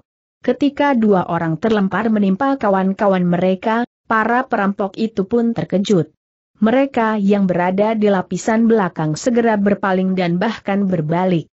Iblis kau! Siapakah kalian berdua yang tiba-tiba saja telah menyerang kami dari belakang? Kami murid perguruan awang-awang. Kenapa? Bukankah wajar jika kami berusaha mencegah kalian memasuki padepokan kami? Jawab gelagah putih. Murid perguruan awang-awang? Kenapa kau tidak berada di dalam dinding padepokanmu? Beberapa orang di antara kami memang sengaja menunggu kalian di luar dinding padepokan kami akan memecahkan perhatian kalian, sehingga kalian harus menghadapi kami dari depan dan dari belakang. Sementara itu kalian akan terjepit di pintu gerbang padepokan. Para perampok itu tidak bertanya lebih banyak lagi. Beberapa orang di antara mereka pun segera menyerang. Mereka akan menyelesaikan keduanya dengan cepat, sementara yang lain tetap saja bergerak memasuki padepokan. Namun keduanya memang telah mengguncang medan. Gelagah putih dan Rara Wulan mampu bergerak dengan cepat sekali. Tangan dan kaki mereka menyambar-nyambar dengan tangkasnya. Beberapa orang segera terlempar. Gelagah putih bahkan telah mengangkat dan memutar seseorang di atas kepalanya. Ketika orang itu dilepaskan, maka tubuhnya terlempar menimpa beberapa orang kawannya yang berada dekat dengan pintu gerbang.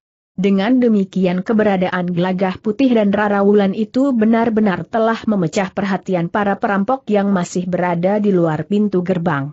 Dalam pada itu, ternyata para cantrik telah menjadi gelisah. Mereka membayangkan bahwa dua orang suami istri itu sedang bertempur dalam kesulitan menghadapi-menghadapi gerombolan perampok yang garang itu. Jangan biarkan mereka terjebak oleh keganasan para perampok, berkata seorang cantrik yang sudah memiliki tataran yang cukup tinggi. Sementara itu, beberapa orang cantrik yang bersembunyi di sisi lain, memang terkejut melihat medan terguncang. Mereka belum mendengar isyarat untuk menyerang. Tetapi di bagian belakang gerombolan perampok yang sedang berusaha memasuki pintu gerbang yang telah dipecahkan itu telah terjadi pertempuran. Balikan dari celah-celah pepohonan mereka melihat beberapa orang perampok telah terpelanting jatuh. Bahkan ada di antara mereka yang terbentur batang. Batang pepohonan yang besar yang menghutan di luar dinding padepokan. Apa yang terjadi sebenarnya bertanya seorang cantrik. Entahlah. Tetapi kita tunggu saja perintah, jawab yang lain.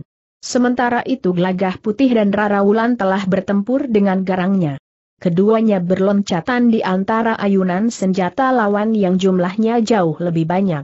Bahkan sekelompok perampok berusaha untuk mengepung keduanya. Namun dengan tidak terlalu banyak mengalami kesulitan, gelagah putih dan Rara Wulan telah memecahkan kepungan itu. Bahkan keduanya kadang-kadang telah berloncatan menjauhi medan. Mereka membiarkan beberapa orang memburu mereka. Namun gelagah putih dan rara wulan itu pun seakan-akan dengan cepat telah menghilang.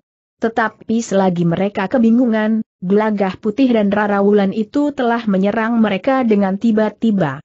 Dalam pada itu, para cantrik yang mencemaskan keadaan kedua orang suami istri itu telah memutuskan untuk segera menyerang, sementara gerombolan perampok dan penyamun itu sebagian telah berada di dalam padepokan. Karena itu, maka cantrik yang mendapat tugas untuk memimpin saudara-saudara seperguruannya itu pun segera membunyikan isyarat untuk segera menyerang. Dengan demikian, maka para cantrik yang berada di luar padepokan, yang semula bersembunyi di balik pepohonan, di lekuk-lekuk bebatuan atau di belakang gerumbul perdu, segera berloncatan keluar dengan senjata di tangan. Sambil berteriak-teriak nyaring, mereka pun berlari-larian menyerbu para perampok dan penyamun yang masih berada di luar pintu gerbang. Para perampok dan penyamun itu pun terkejut pula. Keberadaan dua orang lelaki dan perempuan yang tiba-tiba saja menyerang mereka dengan gerak yang sangat cepat itu telah mengejutkan mereka. Tiba-tiba saja, kelompok-kelompok murid perguruan awang-awang telah menyerang mereka pula. Sebenarnya lah bahwa perhatian gerombolan perampok dan penyamun itu telah terpecah. Mereka yang masih di luar, tidak lagi bergerak memasuki pintu gerbang. Tetapi mereka harus menyiapkan diri untuk bertempur di luar dinding padepokan. Sementara itu, dua orang yang terdiri dari seorang laki-laki dan perempuan masih saja bergerak dengan cepat sekali sehingga kakinya seakan-akan tidak menyentuh tanah. Keduanya berloncaran dengan ringannya. Bahkan sekali-sekali tubuh mereka melenting dan berputar di udara. Sentuhan-sentuhan serangan mereka sangat berbahaya bagi lawan-lawan mereka. Empat orang perampok yang garang bersama-sama berusaha menghadapi gelagah putih, sedang tiga orang yang lain menempatkan diri untuk melawan Rara Wulan. Sedangkan yang lain menghambur untuk melawan para cantrik yang telah menyerang mereka. Tetapi para perampok yang bertempur melawan gelagah putih dan rara wulan itu, seakan-akan tidak lagi mendapat tempat. Keduanya bergerak dengan kecepatan di luar jangkauan kecepatan mereka.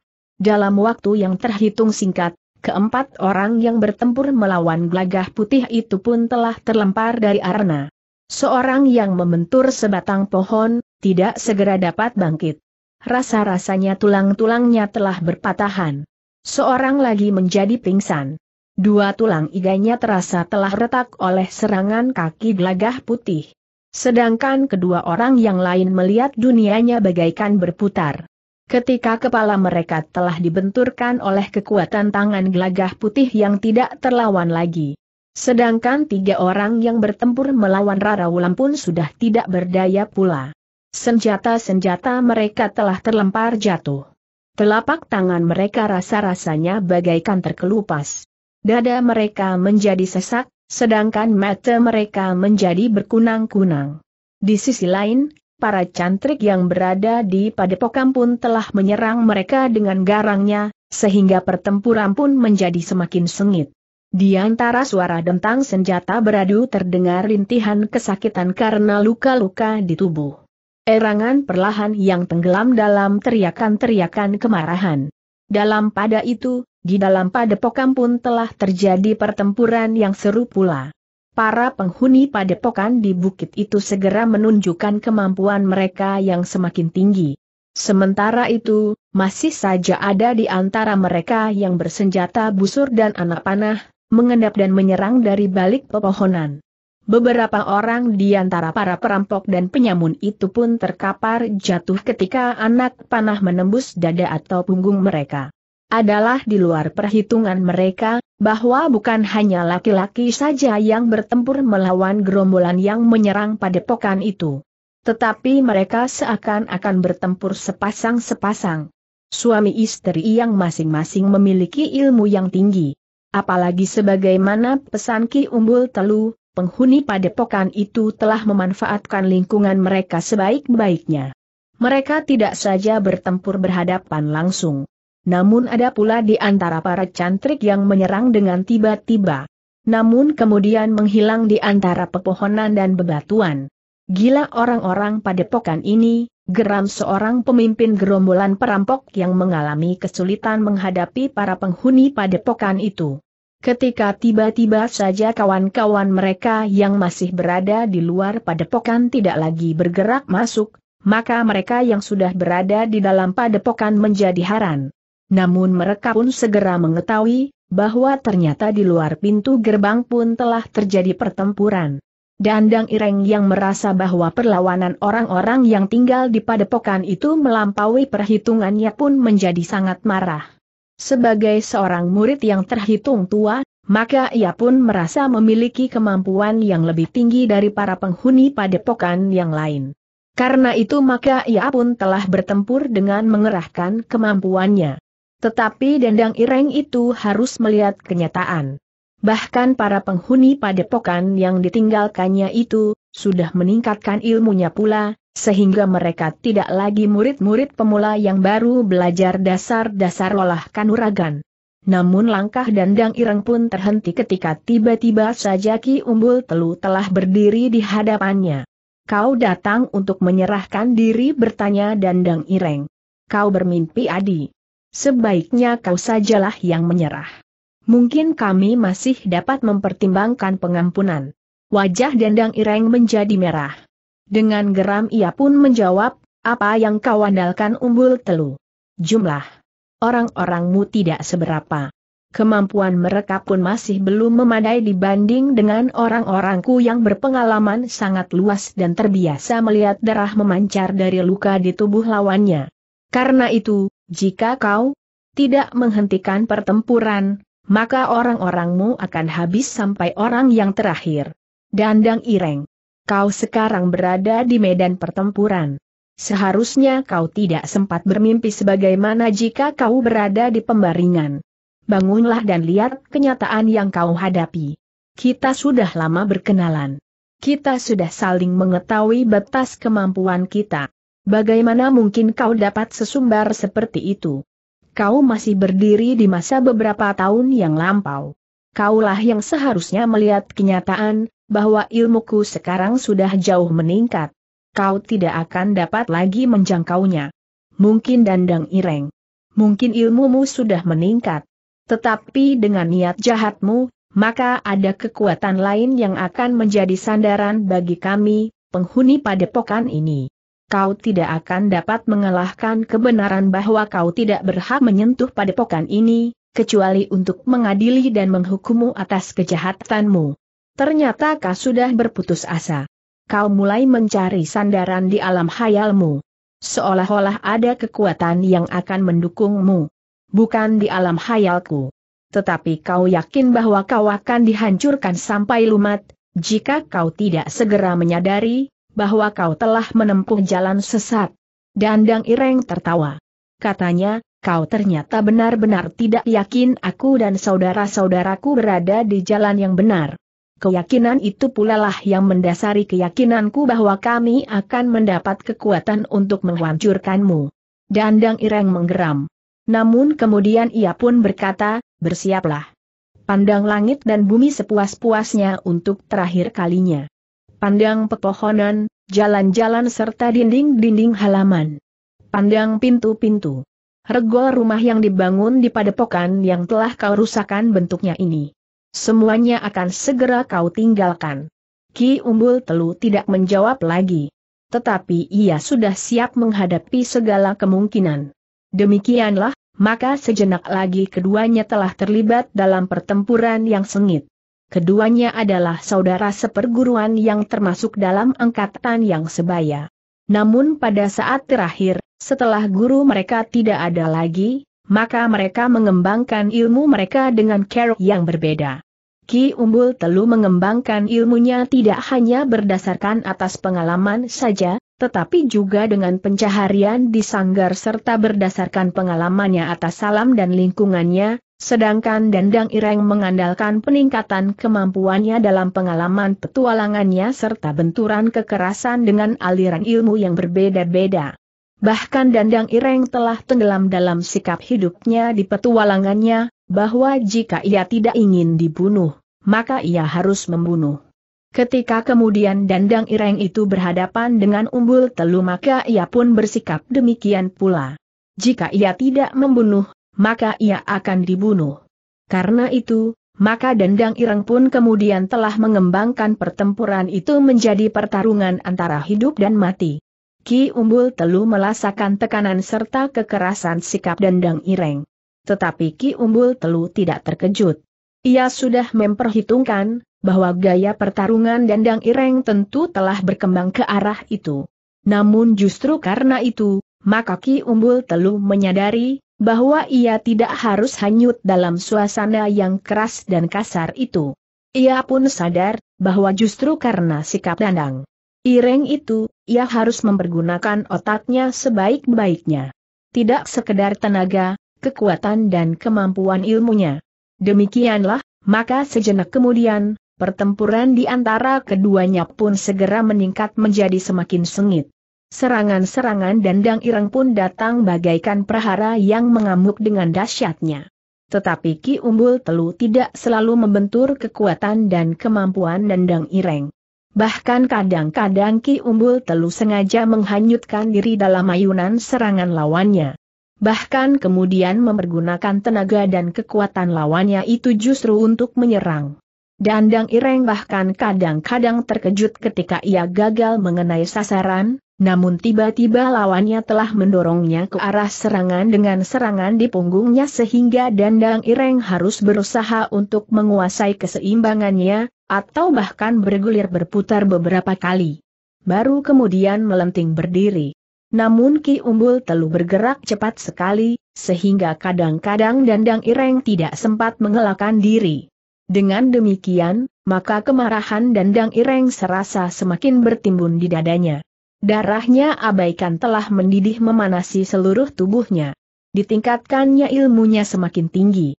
Sehingga dengan demikian, maka dendang ireng itu pun bertempur semakin keras dan kasar. Namun Ki Umbul Telu tetap saja pada sikapnya ia tidak hanyut dan terseret oleh arus kekasaran dan kekerasan dandang ireng. Otak Ki Umbul Telu masih tetap bening menghadapi prahara yang kadang-kadang memang sempat mengancam pertahanannya. Di sisi lain, saudara-saudara seperguruan Ki Umbul Telu bertempur dengan garangnya pula. Ki Kumuda yang ada di antara beberapa orang saudara seperguruannya sempat pula bertemu dengan saudara seperguruannya yang pernah berkhianat bersama Dendang Ireng. Kepada sepasang suami istri yang bertempur melawan orang itu, Ki Kumuda berkata, minggirlah. Aku akan menghadapinya. Kakak seperguruanmu ini sebaya dengan aku. Suami istri itu pun segera melapaskannya. Bagi mereka berdua, kakak seperguruannya yang pernah berkhianat itu memang terasa agak sulit untuk diatasi. Namun berdua mereka pun tidak pula dapat segera dikalahkan. Kenapa aku tidak bertempur bertiga dengan cantrik dan mentrik yang berguru hanya untuk mendapatkan jodoh itu? Lawan masih cukup banyak. Biarlah mereka mencari lawan yang lain. Justru karena kita sebaya, maka aku ingin menakar ilmuku dengan ilmumu. Mungkin aku agak terbelakang pada saat kita bersama-sama berguru. Tetapi mungkin kaulah yang terbelakang. Selain itu, adalah kewajibanku untuk menghukummu. Saudara seperguruan Ki Kumuda itu menggeram. Katanya, kau memang seorang penjilat sejak kau memasuki padepokan ini. Jadi, apakah menurut pendapatmu, murid yang baik adalah murid yang kemudian membunuh gurunya? Persetan, bersiaplah. Aku juga akan membunuhmu. Ki Kumuda memang sudah bersiap. Karena itu, ketika saudara seperguruannya itu menyerangnya, maka ia pun dengan tangkasnya mengelak dan bahkan membalas menyerang. Seperti Ki Umbul Telu dan Dandang Ireng, maka perkembangan ilmu keduanya pun mereka lalui lewat jalan yang berbeda.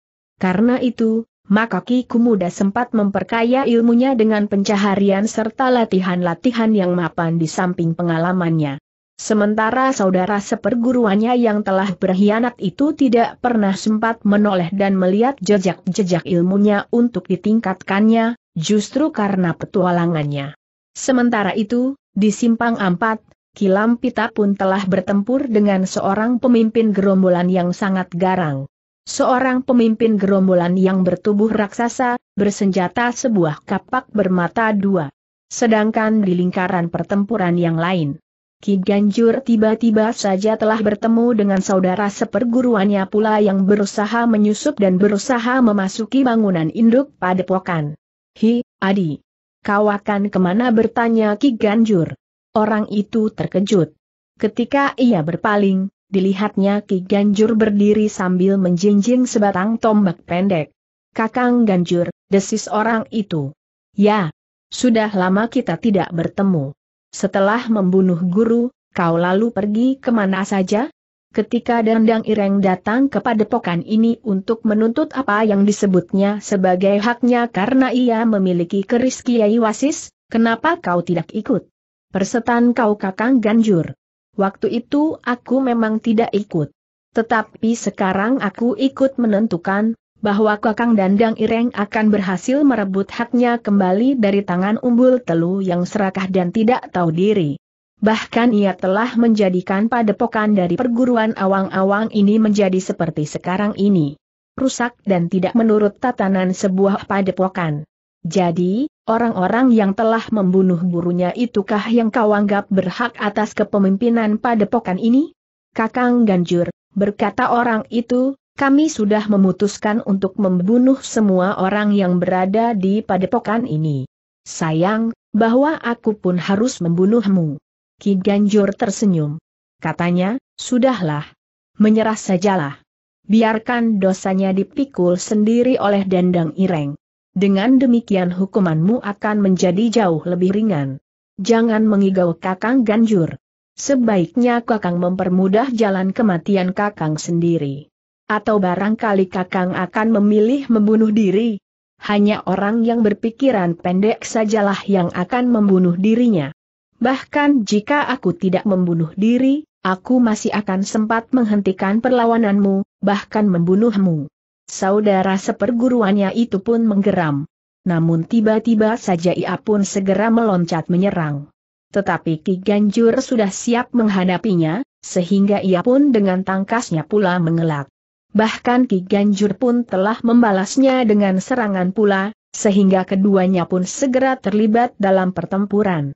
Dalam pada itu, maka pertempuran di padepokan itu pun telah menebar di mana-mana seorang saudara seperguruan yang telah berkhianat, yang menyusup bersama beberapa orang perampok yang juga berniat pergi ke bangunan utama perguruan awang-awang telah terhenti di sebuah lekuk batu-batu padas. Beberapa anak panah telah meluncur dari balik tebing yang rendah di sebelah lorong yang melingkar. Dua orang perampok berteriak kesakitan, sementara yang lain pun segera bersiap menghadapi segala kemungkinan. Namun mereka pun terkejut ketika beberapa orang berloncatan menyerang mereka dari atas tebing yang rendah itu, sementara perhatian mereka tertuju ke balik tebing padas. Di arah yang lain. Dari sanalah beberapa anak panah itu telah meluncur. Dengan demikian, maka pertempuran pun segera telah terjadi di sebuah lekuk batu-batu padas yang sempit itu. Namun para penghuni padepokan, yang terdiri dari beberapa orang laki-laki dan perempuan itu telah mendapatkan kesempatan yang pertama, sehingga mereka pun segera lelah mendesak lawan-lawan mereka. Semula lawan-lawan mereka jumlahnya memang lebih banyak. Tetapi serangan anak panah dari tempat yang tersembunyi, serta serangan berikutnya yang tiba-tiba itu telah melumpuhkan beberapa orang lawan pada benturan yang pertama.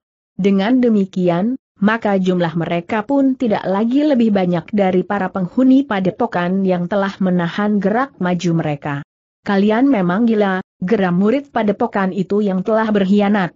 Bersiaplah untuk mati. Kami akan membunuh kalian semuanya. Kakang, seorang yang bertubuh kekurus-kurusan melangkah maju, sebaiknya Kakang sadari, bahwa apa yang telah Kakang lakukan itu merupakan satu kesalahan yang sangat besar. Sebaiknya Kakang tidak membuat kesalahan-kesalahan baru yang dapat menambah beban Kakang itu. Setan kau munggu. Kau kira, kau pantas mendapat perhatianku? Kau masih berguru sepuluh tahun lagi agar kau mengimbangi kemampuanku, sementara itu gurumu sudah tidak ada lagi. Kakang, berkata mungguh, kau memang lebih dahulu dari aku. Tetapi kau pun pergi lebih dahulu pula. Sepeninggalmu aku masih tetap menempa diri di sini, meskipun dengan care saudara sepeguruanku masih dapat meningkatkan ilmuku. Kakang, sehari-hari aku memang seorang yang kerjanya tidak lebih dari aku masih tetap menyediakan waktu sampai hari-hari terakhir ini untuk menempa diri menyadap legen kelapa untuk dibuat menjadi gula tetapi aku masih tetap menyediakan waktu sampai hari-hari terakhir ini untuk menempa diri di bawah bimbingan saudara-saudaraku yang lebih tua, yang ilmunya lebih tinggi dari ilmumu. Kau kira selama ini aku tidak meningkatkan ilmuku mungkin. Tetapi itu tidak penting bagiku. Sekarang kira. Berhadapan. Kita akan membuat perbandingan ilmu di sini. Saudara seperguruan mungguh yang telah berkhianat itu menggeram, Aku akan membantaimu di sini. Marilah. Kau dengan kawan-kawanmu yang tentu para perampok dan penyamun itu akan melihat kenyataan, bahwa padepokan ini tidak mudah ditundukkan. Orang itu tidak menjawab lagi. Ia pun segera meloncat menyerang Mungguh dengan mengerahkan kemampuannya. Tetapi tukang sadap legen kelapa itu sudah siap menghapinya. Karena itu, maka ia pun sempat mengelakkan serangan itu pula. Sejenak kemudian, pertempuran pun telah terjadi di lekuk kecil itu. Beberapa orang harus berloncatan di tanah yang miring berbatu padas. Yang lain sempat meloncat ke lorong kecil dan yang lain lagi melebar ke halaman di seberang lorong. Namun ternyata bahwa para perampok dan penyamun itu benar-benar harus menghadapi kenyataan. Para penghuni padepokan itu laki-laki maupun perempuan, telah dibekali dengan ilmu kanuragan yang memadai apalagi mereka lebih menguasai medan dari para perampok dan penyamun itu, sehingga satu demi satu para perampok dan penyamun itu, terpelanting jatuh. Ada yang tergelincir ke dalam lereng yang meskipun dangkal saja, namun batu-batu padas telah melukai kulit mereka sehingga berdarah. Namun mereka yang terperosok itu ada yang tidak sempat naik lagi, karena sebongkah batu telah menimpa tubuhnya, sehingga rasa-rasanya miang tulangnya telah berpatahan. Dengan demikian orang itu terpaksa harus tetap berada di lereng yang bergerumbul liar dan bahkan berduri sambil mengerang kesakitan. Dengan demikian, maka satu demi satu lawan pun dengan cepat menyusut. Sementara itu Mungguh masih saja bertempur melawan saudara seperguruannya yang telah berkhianat itu. Para perampok dan penyamun itu pun semakin lama menjadi semakin tertekan. Mereka tidak lagi mempunyai kesempatan untuk bergerak. Medannya terasa terlalu sulit bagi mereka yang terbiasa bertempur di bulak-bulak yang datar atau di pinggir-pinggir hutan yang rata. Karena itu, maka beberapa orang yang tersisa tidak mempunyai pilihan lain kecuali melarikan diri dari medan. Ketika satu dua orang meloncat dan meninggalkan lawan-lawan mereka, maka yang lain pun telah melakukannya pula sehingga akhirnya mereka pun menjadi tercerai-berai. Saudara seperguruan mungguh yang masih bertempur itu ternyata tidak mampu mengendalikan mereka. Meskipun ia beberapa kali memberikan isyarat, namun mereka yang berlari-larian itu tidak pernah kembali lagi. Namun para penghuni padepokan itu tidak membiarkan para perampok itu melepaskan diri. Beberapa orang di antara mereka pun telah berusaha mengejar mereka. Sementara itu, Mungguh masih juga bertempur. Tetapi ternyata bahwa lawannya memang seorang yang tangguh. Selain memiliki landasan ilmu yang lebih tinggi, maka kekerasan dan kekerasannya yang telah terbentuk kemudian sepanjang pematangannya, membuat Mungguh agak mengalami kesulitan. Tetapi setelah para perampok dan penyamun yang bertempur bersama saudara seperguruan Mungguh yang telah berkhianat itu melarikan diri, maka seorang saudara seperguruan Mungguh telah melangkah mendekati arna pertempuran itu. Maaf Kakang. Aku ingin melibatkan diriku, berkata orang itu. Lici kau, geram saudara seperguruan Mungguh yang telah berkhianat itu, kalian bukan laki-laki yang berani bertempur seorang melawan seorang. Bukankah kita tidak sedang berada di arena perang tanding seorang melawan seorang? Kalianlah yang lebih dahulu licik. Kalian datang membawa pasukan yang jumlah orangnya melebihi jumlah penghuni padepokan ini. Karena itu, jika kami bertempur berpasangan, bukan berarti bahwa kami telah berlaku licik persetan. Majulah. Aku akan membunuh kalian berdua. Mungguh pun kemudian bergeser, sementara saudara sepeguruannya yang datang membantunya itu melangkah semakin dekat. Sejenak kemudian, maka Mungguh pun telah bertempur berpasangan. Jika semula Mungguh mengalami kesulitan, maka berdua Mungguh segera menekan lawannya. Dalam pada itu, pertempuran pun telah berkobar di mana-mana.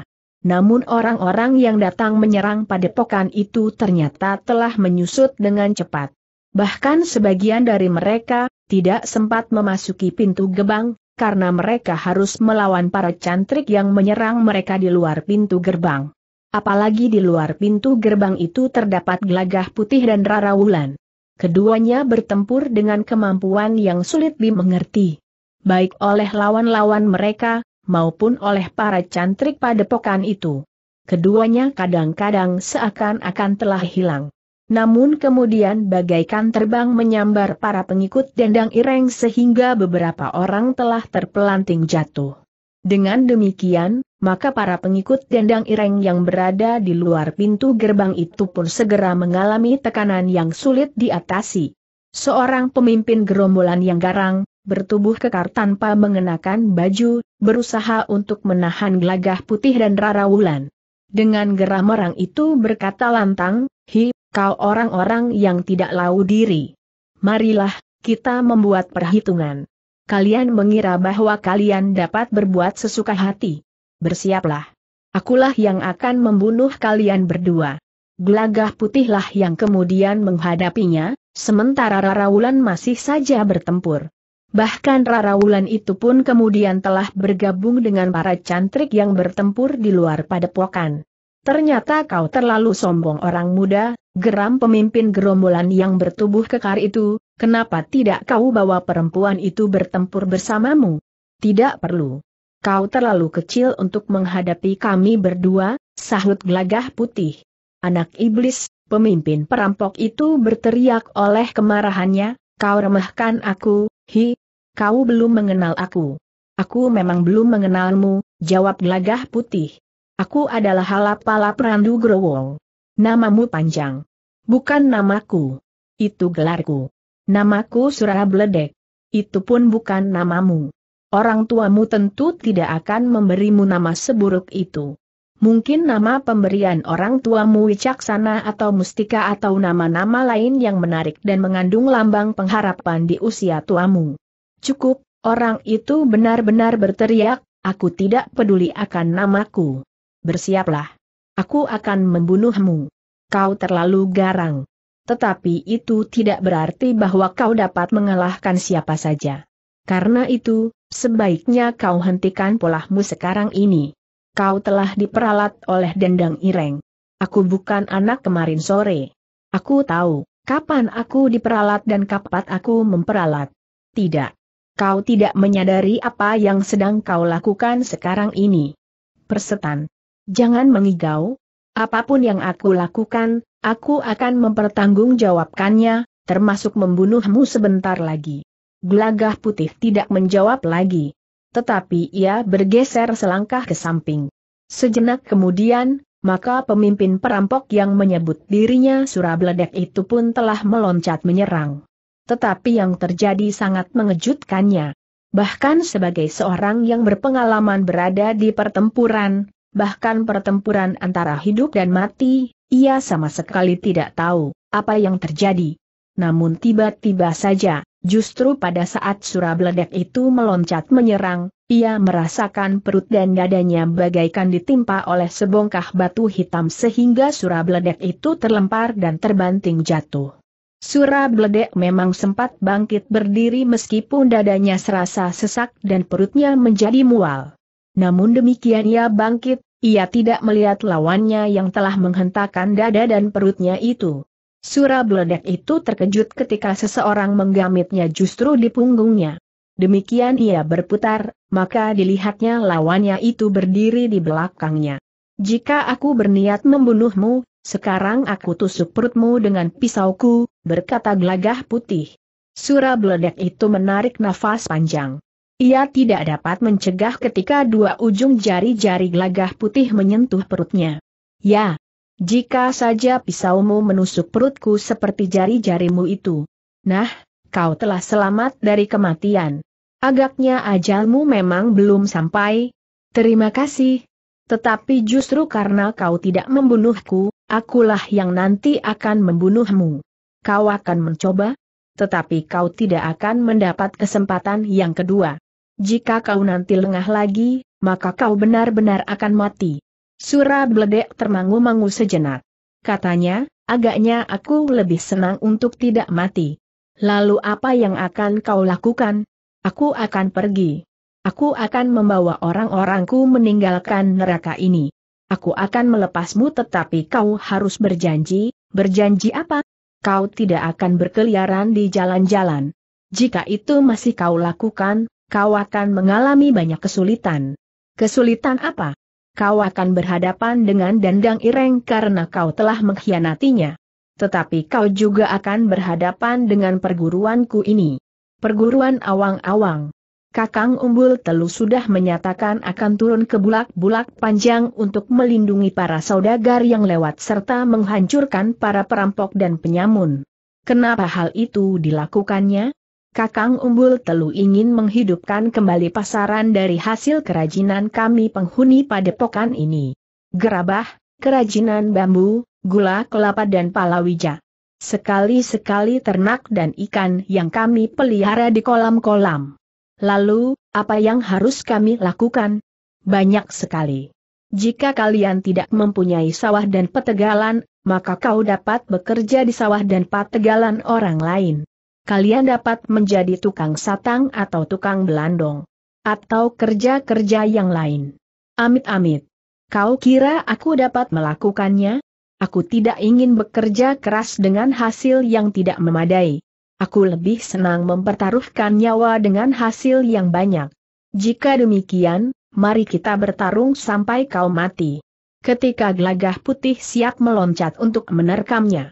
Maka Surabledek itu pun berkata, Tunggu, aku akan membunuhmu. Jangan bunuh aku. Aku percaya bahwa kau dapat melakukannya. Jadi, aku akan berjanji sebagaimana kau kehendaki, sebutkan. Kau sudah tahu, karena kau sudah menyebutnya, kau harus mengatakannya. Ucapkan janjimu. Baiklah. Aku berjanji untuk menghentikan segala kerja yang buruk. Baiklah. Aku menjadi saksi. Jika kami temui kau di jalan-jalan bulak, merampok dan menyamun, maka kami akan membunuhmu dengan cara yang tidak pernah kau bayangkan sebelumnya. Baiklah. Jangan sekedar berpindah tempat. Kami akan memburu ke mana pun kau pergi. Ke mana para perampok dan penyamun itu melakukan kegiatan buruknya. Baik-baik. Sekarang beri isyarat agar orang-orangmu pergi, surah beledek itu mengangguk. Sejenak kemudian, terdengar surah beledek itu bersuit nyering. Sekelompok orang yang berada di dalam pasukan yang dibawa Dandang Ireng, yang tidak sempat memasuki gerbang padepokan itu pun mendengar isyarat yang dilontarkan oleh pimpinannya itu. Karena itu, maka mereka pun telah menyahut isyarat itu dengan isyarat pula. Sejenak kemudian, sekelompok perampok dan penyamun telah bergerak dengan gerakan-gerakan yang berbeda dengan gerombolan yang lain. Sementara itu gelagah putih pun telah bergeser pula dari tempatnya sambil berteriak pula, beri kesempatan mereka meninggalkan medan. Para cantrik mendengar seruan itu. Meskipun mereka tidak tahu kenapa, namun mereka membiarkan orang-orang yang berusaha melarikan diri itu mengikuti surah bledek meninggalkan medan. Pasukan yang menyerang perguruan awang-awang itu menjadi semakin lemah. Bahkan sejenak kemudian, mereka yang belum sempat memasuki pintu gerbang itu telah menyelinap masuk. Bukan karena pekerjaan mereka di luar sudah selesai tapi mereka mencoba untuk bergabung dengan kawan-kawan mereka yang sudah berada di dalam pintu gerbang. Pertempuran yang terjadi di dalam pintu gerbang padepokan itu menjadi semakin sengit. Tetapi para cantrik yang semula bertempur di luar pintu itu gerbang pun telah memburu memasuki pintu gerbang padepokan mereka pula. Yang kemudian masih berdiri di luar pintu gerbang adalah Gelagah Putih dan Rara Wulan. Sambil melangkah ke pintu gerbang Rara Wulan pun bertanya, kau lepaskan orang yang berwajah garang itu kakang? Bukankah dengan demikian, korban akan berkurang dari kedua belah pihak? Ya. Tetapi sebagian dari kawan-kawan mereka tentu masih tertinggal di sini. Mungkin mereka yang terbunuh.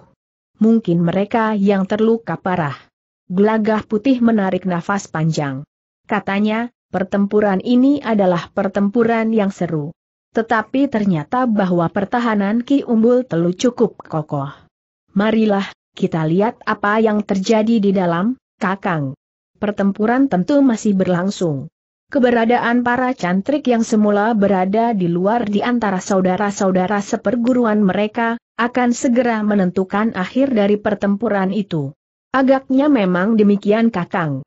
Keduanya pun kemudian telah memasuki pintu gerbang padepokan pula. Ternyata bahwa pertempuran masih berlangsung di mana-mana. Namun dengan caranya, para cantrik mampu menahan pasukan yang telah menyerang padepokan mereka. Sedangkan keberadaan para cantrik yang semula berada di luar, sangat membantu saudara-saudaranya yang harus mengerahkan segala kemampuan mereka melawan beberapa gerombolan perampok dan penyamun yang sudah berada di dalam padepokan. Gelagah putih dan Wulan termangu-mangu sejenak mengamati keadaan.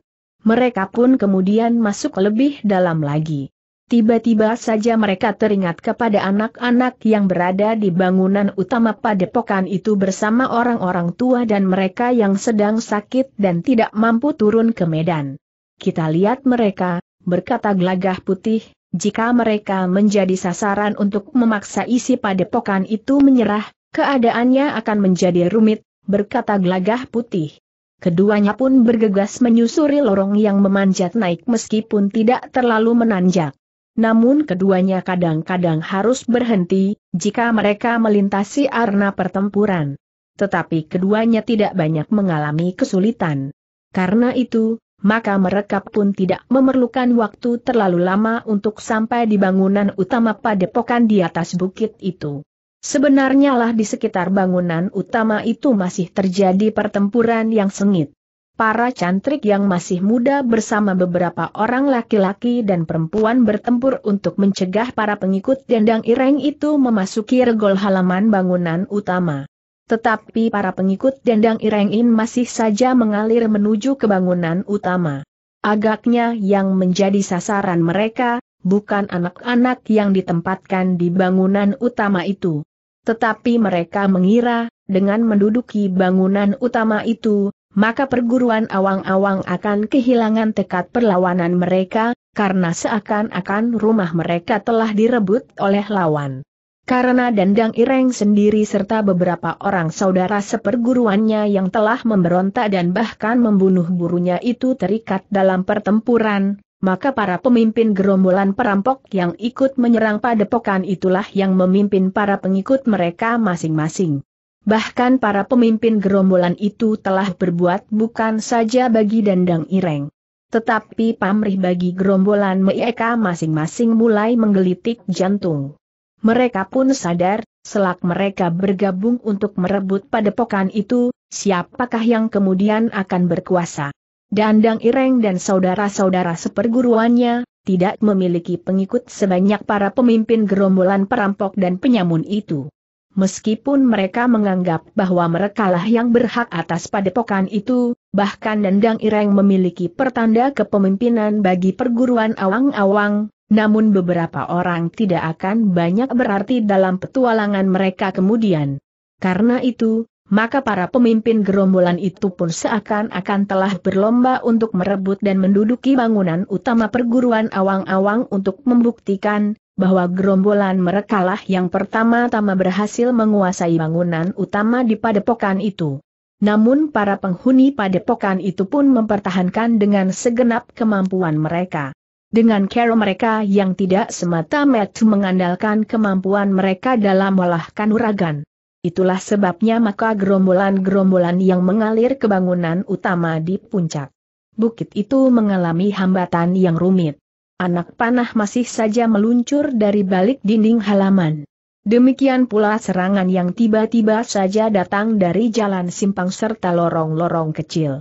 Keberadaan para cantrik yang semula berada di luar semakin mempersulit jalan bagi mereka yang sedang menuju ke bangunan utama itu. Tetapi para pemimpin mereka, selalu saja berteriak-teriak memberikan aba-aba bagi para pengikutnya untuk bergerak lebih cepat lagi. Orang-orang pertama dari gerombolan perampok dan penyamun itu telah mulai bergerak menuju ke pintu gerbang bangunan utama. Para cantrik yang bertugas di dalam dinding bangunan utama itu pun telah mempersiapkan diri sebaik-baiknya.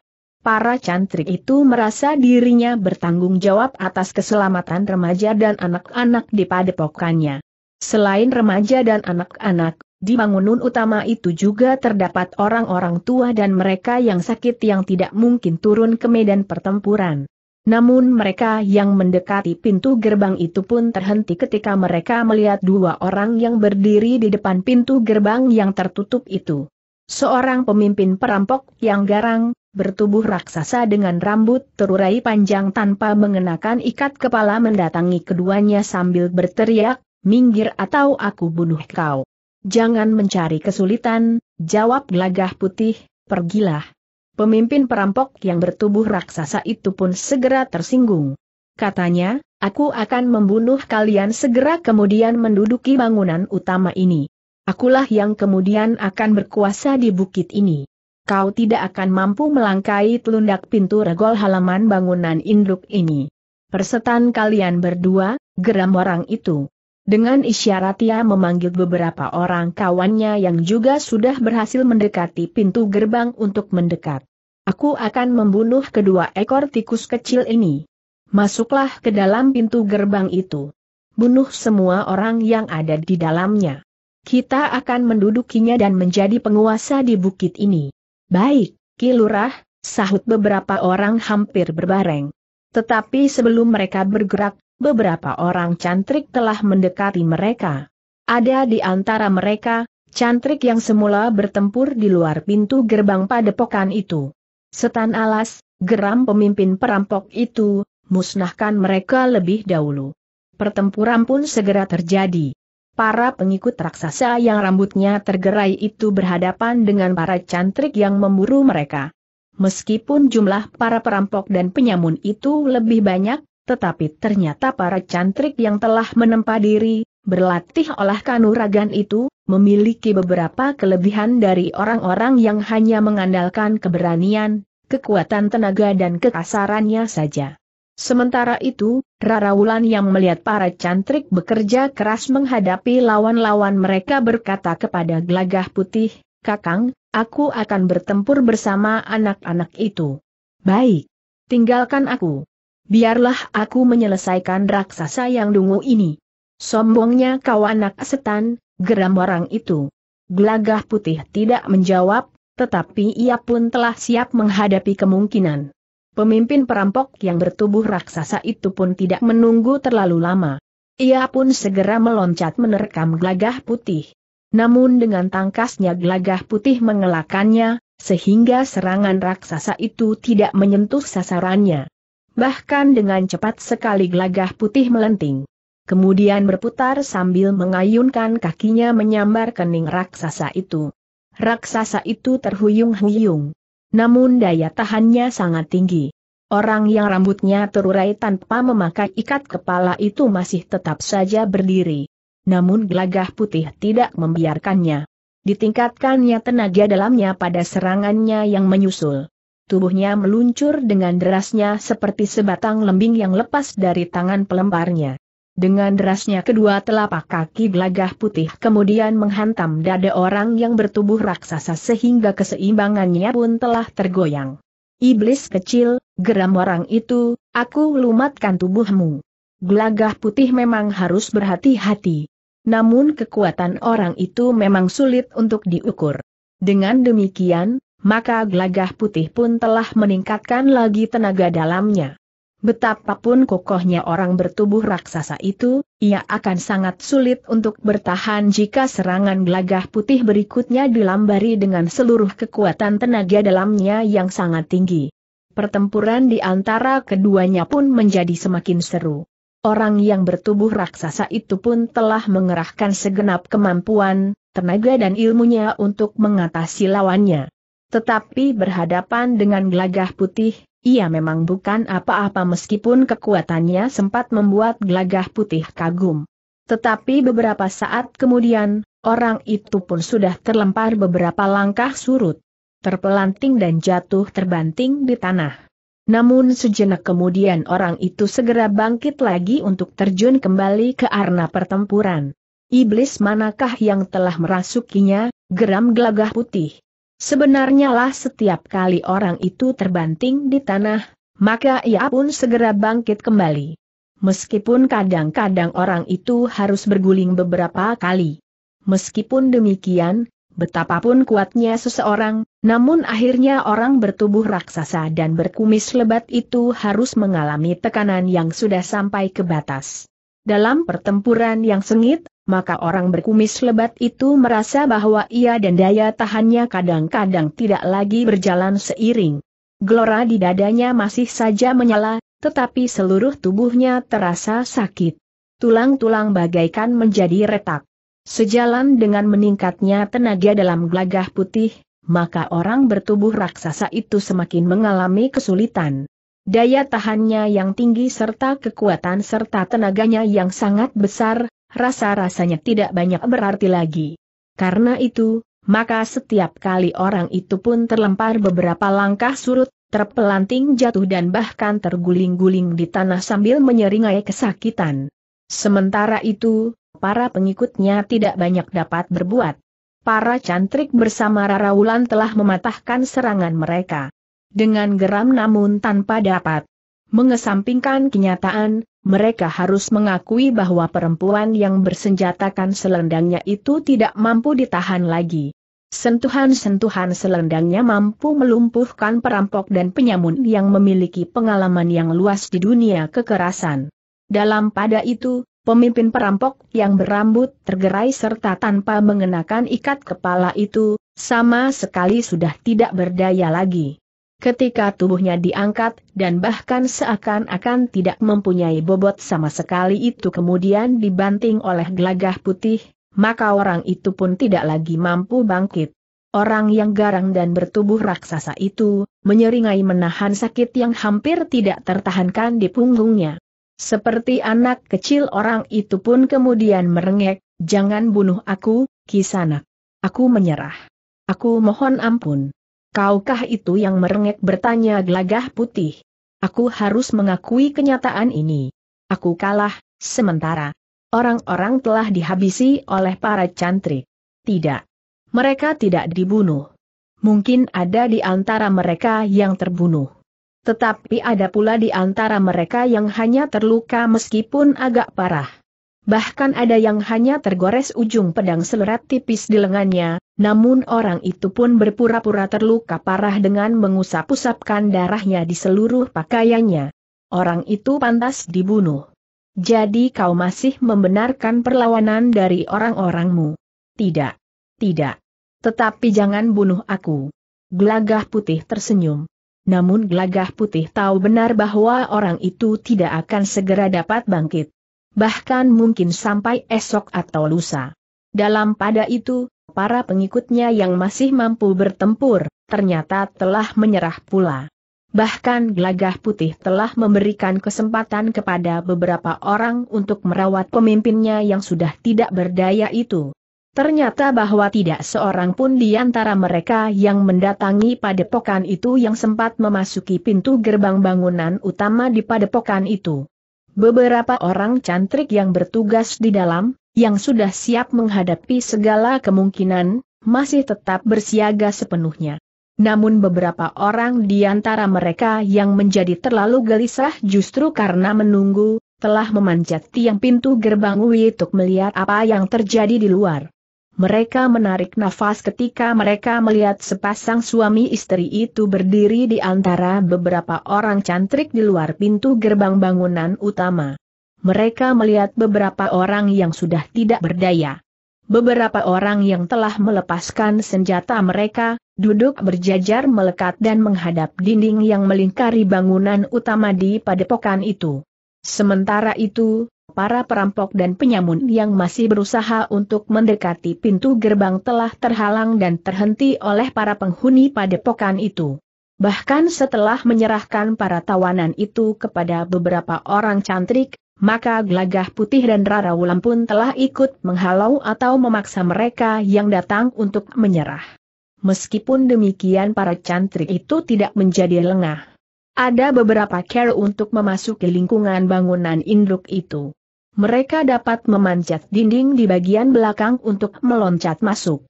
Ternyata kewaspadaan itu memberikan arti bagi pertahanan para cantrik itu. Justru karena mereka meyakini kekuatan saudara-saudaranya yang berada di depan pintu gebang, maka mereka menitik beratkan pertahanan mereka. Untuk mengatasi jika ada lawan yang berusaha meloncati dinding.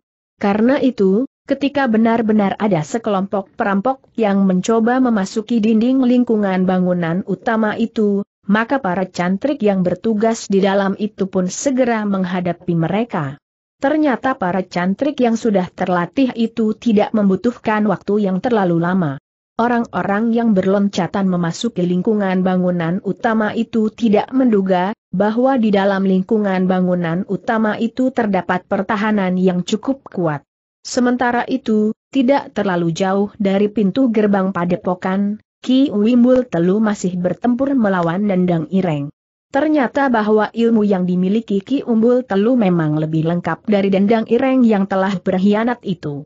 Dandang Ireng yang telah meninggalkan padepokan itu, selain mengandalkan ilmunya, juga mengandalkan pendalamannya yang luas. Pengalaman petualangannya di dunia yang gelap di sepanjang bulak-bulak panjang, menyusuri kegelapan dan kesunyian malam. Mengetuk pintu keras-keras, mengancam dan bahkan membunuh orang-orang yang berani menentangnya. Dengan demikian, maka Dendang Ireng dan saudara-saudara seperguruannya, yang memilih jalan yang sama, telah bertempur dengan keras dan kasar. Namun mereka membentur kemampuan saudara-saudara seperguruan mereka yang tetap berpijak pada jalan lurus di padepokan mereka saudara-saudara seperguruan Dandang Ireng yang telah berkhianat itu tidak mempunyai banyak kesempatan.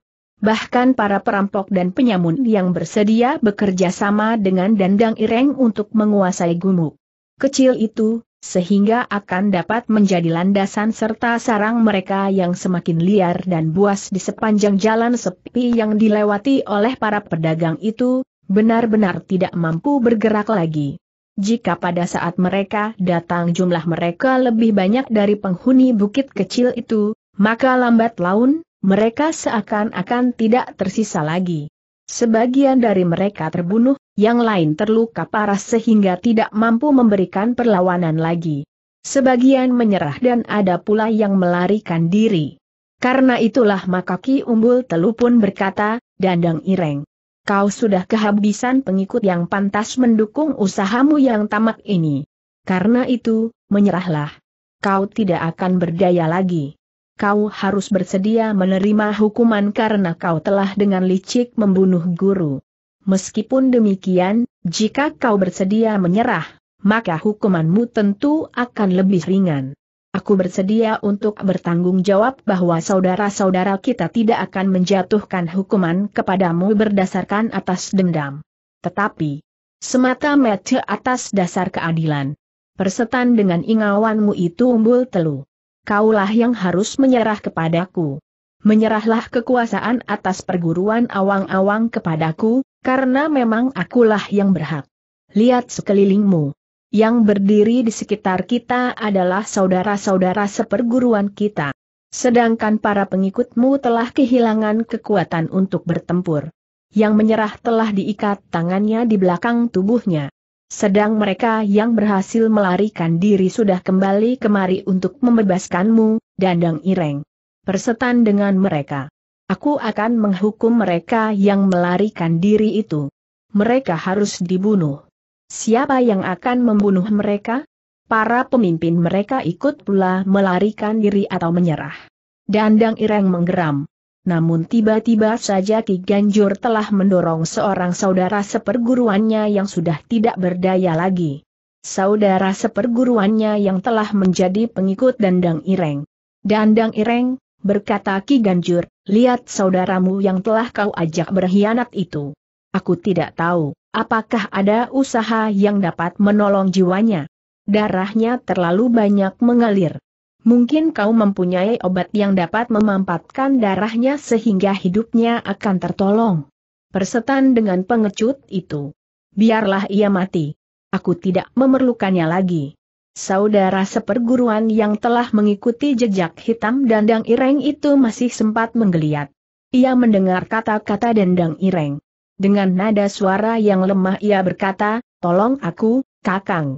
Kau mempunyai obat yang dapat membantu memampatkan darahku, mengurangi rasa sakit, dan untuk sementara dapat membantu meningkatkan daya tahanku.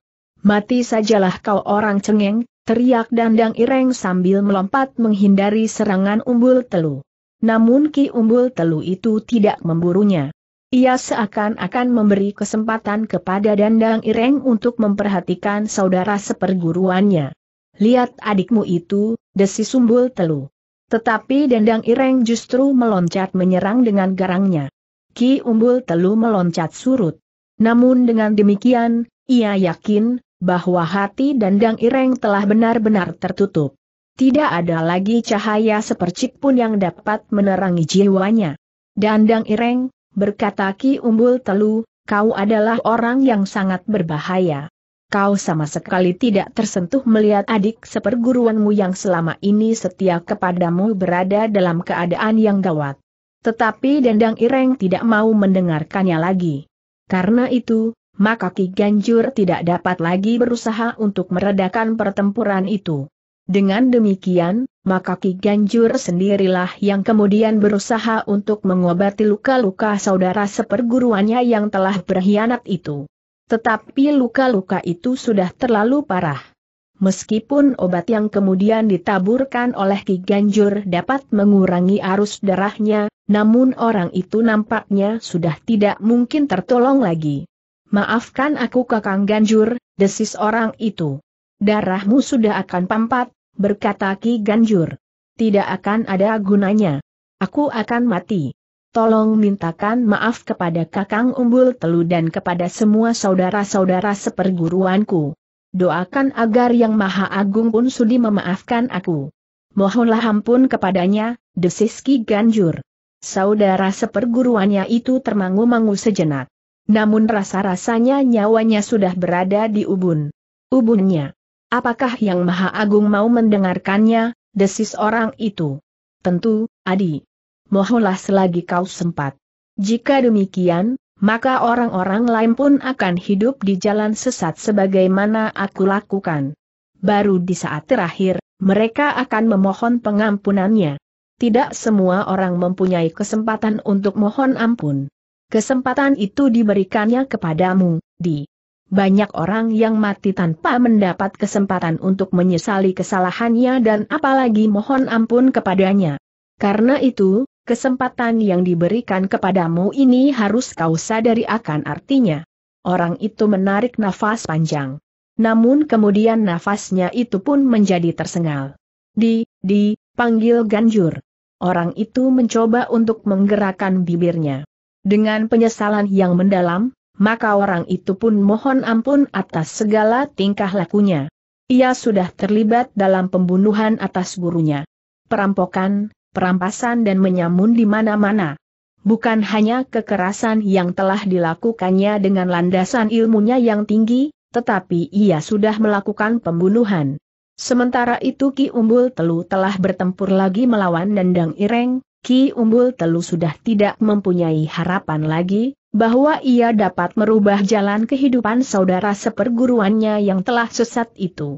Karena itu, maka jalan satu-satunya untuk menghentikan langkahnya di kegelapan adalah memisahkan jiwa dan raganya yang menjadi alat atas segala langkah-langkah hitamnya.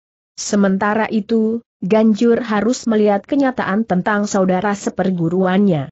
Ia menyesal bahwa luka-luka yang ditimbulkannya di tubuh saudara seperguruannya itu demikian parahnya, sehingga akhirnya, saudara seperguruannya itu tidak dapat tertolong lagi.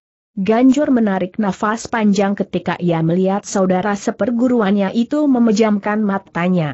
Tidak jauh dari tempat Ganjur itu berlutut, Saudara-saudara seperguruan Ganjur berdiri melingkari Ki Umbul Telu yang masih bertempur melawan Nendang Ireng. Ki Lampita dan Ki Kumuda pun telah berada di kerumunan itu pula. Bahkan Gelagah Putih dan Rara Wulam pun telah menunggu pertempuran antara dua orang saudara seperguruan yang berdiri di pihak yang berseberangan. Tidak ada lagi yang dapat kau harapkan, Dandang Ireng, berkata Ki Umbul Telu, kau lihat bahwa pertempuran sudah selesai. Orang-orangmu yang menyerah sudah diikat sehingga tidak akan mampu berbuat apa-apa lagi. Yang lain terbunuh luka parah atau melarikan diri. Persetan dengan mereka. Sekarang terserah kepadamu, apakah kita akan mengadu kemampuan kita dalam perang tanding, atau kau akan mengajak para pengikutmu untuk mengeroyok aku. Aku sama sekali tidak akan gentar menghadapi kalian semuanya. Bahkan pekerjaanku akan segera dapat aku selesaikan pula. Kau sudah kehilangan keblat. Dandang Ireng. Betapapun tinggi ilmumu, kau tidak akan dapat mengalahkan kami semuanya. Jika kami mau, maka dalam sekejap tubuhmu akan menjadi arang keranjang. Segala senjata akan menghujam di seluruh bagian tubuhmu, bahkan sampai ke telapak kaki dan tanganmu. Lakukan. Kenapa tidak kau lakukan sekarang aku akan menghadapinya dalam perang tanding, sombongnya kau umbul telu. Ki umbul telu tidak menjawab. Tetapi ia pun telah meningkatkan ilmunya semakin tinggi. Keduanya pun bertempur semakin sengit. Meskipun kemampuan Ki Umbul Telu berada di atas kemampuan Dendang Ireng namun pengalaman Dendang Ireng di petualangannya menyusuri kegelapan, kadang-kadang memaksa Ki Umbul Telu untuk bergeser surut. Namun ujung senjata Dandang Ireng masih belum mampu menyentuh kulit Ki Umbul Telu, sementara itu, senjata Ki Umbul Telu telah mulai menggores kulit Dandang Ireng. Dandang Ireng pun kemudian menjadi semakin marah. Namun dengan demikian, kemarahannya itu telah membuat Dandang Ireng tidak lagi dapat menguasai perasaannya. Serangan-serangannya menjadi semakin garang namun tidak lagi terarah dengan baik. Dengan demikian, maka senjata Ki Umbul Telu telah menyentuh tubuh Dandang Ireng semakin sering. Goresan-goresan di tubuh Dandang Ireng itu pun menjadi semakin banyak silang melintang. Lengannya pun telah terkoyak. Bahunya sudah terluka. Segores luka menyelang di dadanya. Sementara itu ujung senjata Ki Umbul Telu telah mematuk lambungnya pula. Tetapi Dendang Ireng tidak mau melihat kenyataan itu. Bahkan ia pun berloncatan semakin garang. Ketika ujung senjatanya berhasil menyentuh bahu Ki Umbul Telu, maka Dendang Ireng itu pun berteriak, Umbul Telu. Aku akan segera membunuhmu. Bersiaplah untuk mati. darah sudah mulai menitik dari lukamu. Kau memang berhasil melukai bahuku. Dandang Ireng. Tetapi lihat tubuhmu sendiri. Pakaianmu sudah menjadi merah oleh darah. Bahkan bukan hanya pakaianmu yang sudah terkoyak di mana-mana. Tetapi juga kulit dan dagingmu. Tetapi masih ada kesempatan bagimu untuk menghentikan pertempuran. Iblis kau, teriak Dandang Ireng tanpa menghiraukan kata-kata umbul telu sambil meloncat dengan garangnya, menikam umbul telu mengarah ke dadanya. Tetapi umbul telu masih sempat bergeser ke samping sambil merendahkan diri.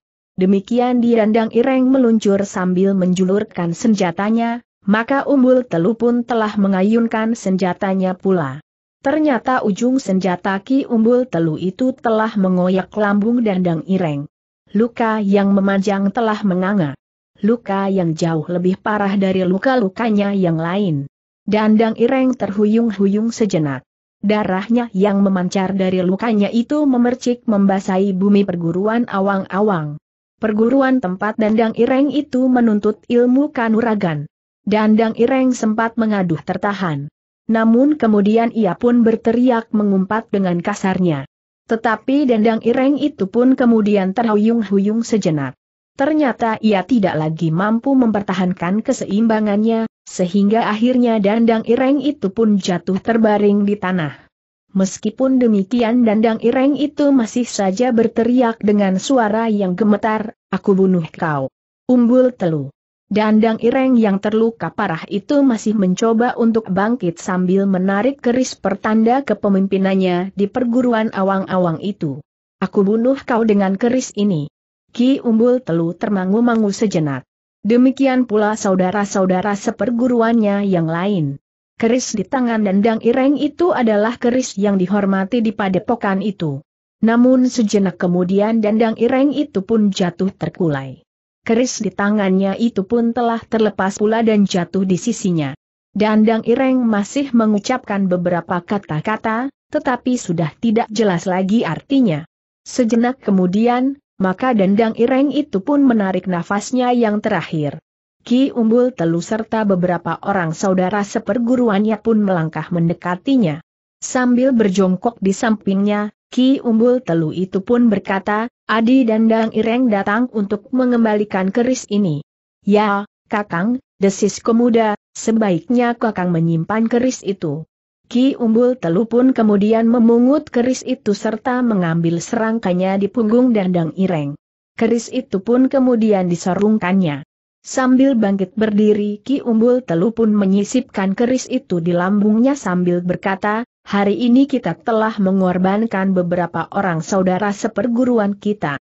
Kita harus menyelenggarakan pemakaman mereka sebagaimana seharusnya. Kita pun harus merawat orang-orang yang terluka serta mengurus mereka yang tertawan. Tugas kita akan menjadi berat beberapa hari ini. Saudara-saudara seperguruannya pun menyadari sebagaimana dikatakan oleh Ki Umbul Telu, bahwa dalam beberapa hari mereka akan bekerja keras. Beberapa saat kemudian, maka Ki Umbul Telu pun bersama orang-orang tertua di padepokan itu telah pergi ke bangunan induk padepokan, sementara saudara-saudara mereka mulai sibuk dengan tugas mereka. Para murid dari perguruan awang-awang itu telah mengerahkan para tawanan di bawah pengawasan yang ketat untuk membantu kerja mereka mereka harus mengumpulkan orang-orang yang terbunuh dan kemudian menyisihkan mereka yang terluka untuk segera mendapatkan perawatan. Mereka pun harus memisahkan para pengikut Dendang Ireng dengan saudara-saudara seperguruan mereka. Meskipun mereka dalam keadaan terluka parah, tetapi akan dapat terjadi hal-hal yang tidak dikehendaki apabila mereka berbaur menjadi satu. Ketika Ki Umbul Telu memasuki bangunan utama di padepokan itu, maka ia pun menyatakan kebanggaannya terhadap saudara-saudara seperguruannya, para cantrik yang masih muda, bahwa mereka telah berhasil mempertahankan bangunan utama itu. Meskipun ada beberapa orang yang berhasil memanjat masuk, tetapi mereka tidak dapat berbuat apa-apa. Anak-anak serta orang-orang tua, sama sekali tidak tersentuh oleh para pengikut Dandang Ireng. Kedua orang suami istri itu ternyata orang-orang yang berilmu sangat tinggi, berkata seorang cantrik yang bertempur di luar pintu gerbang padepokan dan kemudian juga bertempur tidak jauh dari gelagah putih dan rara wulan di depan regol bangunan utama padepokan itu. Kau melihatnya, bertanya Ki Kumuda. Keduanya bertempur seperti sepasang elang. Kadang-kadang mereka terbang tinggi di luar jangkauan penglihatan. Tiba-tiba saja keduanya menukik menyambar dengan kuku-kukunya yang tajam mencengkeram dan membawanya terbang. Kemudian melemparkannya ke atas batu-batu padas.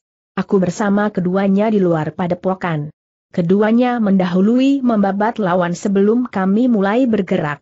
Kemudian ketika aku berada di depan regol bangunan utama ini, keduanya pun telah berada di sini pula, bertempur sebagaimana mereka lakukan di luar pintu gerbang padepokan ini. Ki Umbul Telu menarik nafas panjang. Katanya, Aku sudah mengira, bahwa mereka memiliki kelebihan. Karena itu mereka sama sekali tidak menjadi gentar ketika mereka ikut mendengar ancaman Dandang Ireng. Bahkan keduanya bertekad untuk membantu kita. Tidak ada seorang pun di antara kita yang dapat berbuat sebagaimana dilakukannya, berkata seorang cantrik yang lain. Kita harus mengucapkan terima kasih kepada mereka, desis Ki Umbul Telu kepada seorang cantrik Ki Umbul Telu pun kemudian memerintahkan untuk mempersilahkan gelagah putih dan rarawulan ke bangunan utama padepokan itu. Di mana mereka sekarang? Bertanya Ki Lampita. Mereka berada di luar gol halaman bersama beberapa orang-orang kita yang sedang sibuk menyelesaikan tugas. Mereka bersama beberapa orang yang menyerah itu, jawab seorang cantrik. Baiklah. Kami menunggu di sini. Tidak terlalu lama kemudian, gelagah putih dan rarawulan yang berada tidak jauh dari regol halaman itu pun telah dipersilahkan naik ke pendapa bangunan utama padepokan itu. Kisanak, berkata Ki Umbul Telu, kami mengucapkan terima kasih atas kesediaan Kisanak menyelamatkan perguruan kami. Gelagah putih dan rarawulan saling berpandangan sejenak. Namun kemudian sambil tersenyum gelagah putih pun berkata, itu agak berlebihan. Ki Umbul Telu. Kami memang telah membantu sejauh kemampuan kami. Tetapi bukan berarti bahwa kami telah menyelamatkan perguruan ini. Angger gelagah putih, berkata Ki Umbul Telu kemudian, bantuan yang kalian berikan agaknya telah menentukan akhir dari pertempuran ini. Sejak Angger berdua bertempur di luar pintu gerbang padepokan, kemudian di depan regol halaman bangunan utama ini, Angger telah menjadi penentu. Tanpa Angger berdua, maka anak-anak kami di luar pintu gerbang tidak akan dapat menahan sebagian besar pengikut Dandang Ireng. Tetapi justru karena Angger berdua telah membuka pertempuran dan menyusut lawan dengan cepat, maka para cantrik dapat menahan para pengikut Dandang Ireng yang cukup banyak di luar pintu gerbang. Dengan demikian, maka kami yang berada di dalam dinding padepokan ini mampu menghadapi para pengikut dendang ireng yang telah memasuki pintu gerbang. Ah! Sanjungan itu justru mendebarkan jantung kami berdua. Yang kami lakukan tidak lebih dari kesungguhan kami untuk membantu para cantrik. Kami ternyata telah berhutang budi. Kami pun mohon maaf atas dugaan kami yang keliru terhadap kemampuan Angger berdua, sehingga kami mempersilahkan Angger berdua meninggalkan padepokan ini sebelum Dandang Ireng dan para pengikutnya datang ke padepokan ini. Aku justru sangat berterima kasih atas kepedulian Ki Umbul Telu terhadap keselamatan kami. Nah, Angger berdua. Sebagai pernyataan terima kasih kami, maka kami ingin Angger berdua untuk tinggal di padepokan ini beberapa lama. Sebagaimana Angger katakan sebelumnya, bahwa setelah peristiwa ini, maka kami berniat untuk memperluas beban kewajiban kami. Kami ingin mencari hubungan dengan para pedagang serta para demang yang jalan-jalan di kademangannya dilalui oleh para pedagang. Kami ingin membuka kembali pasar untuk menjual barang-barang kerajinan yang kami hasilkan di padepokan ini.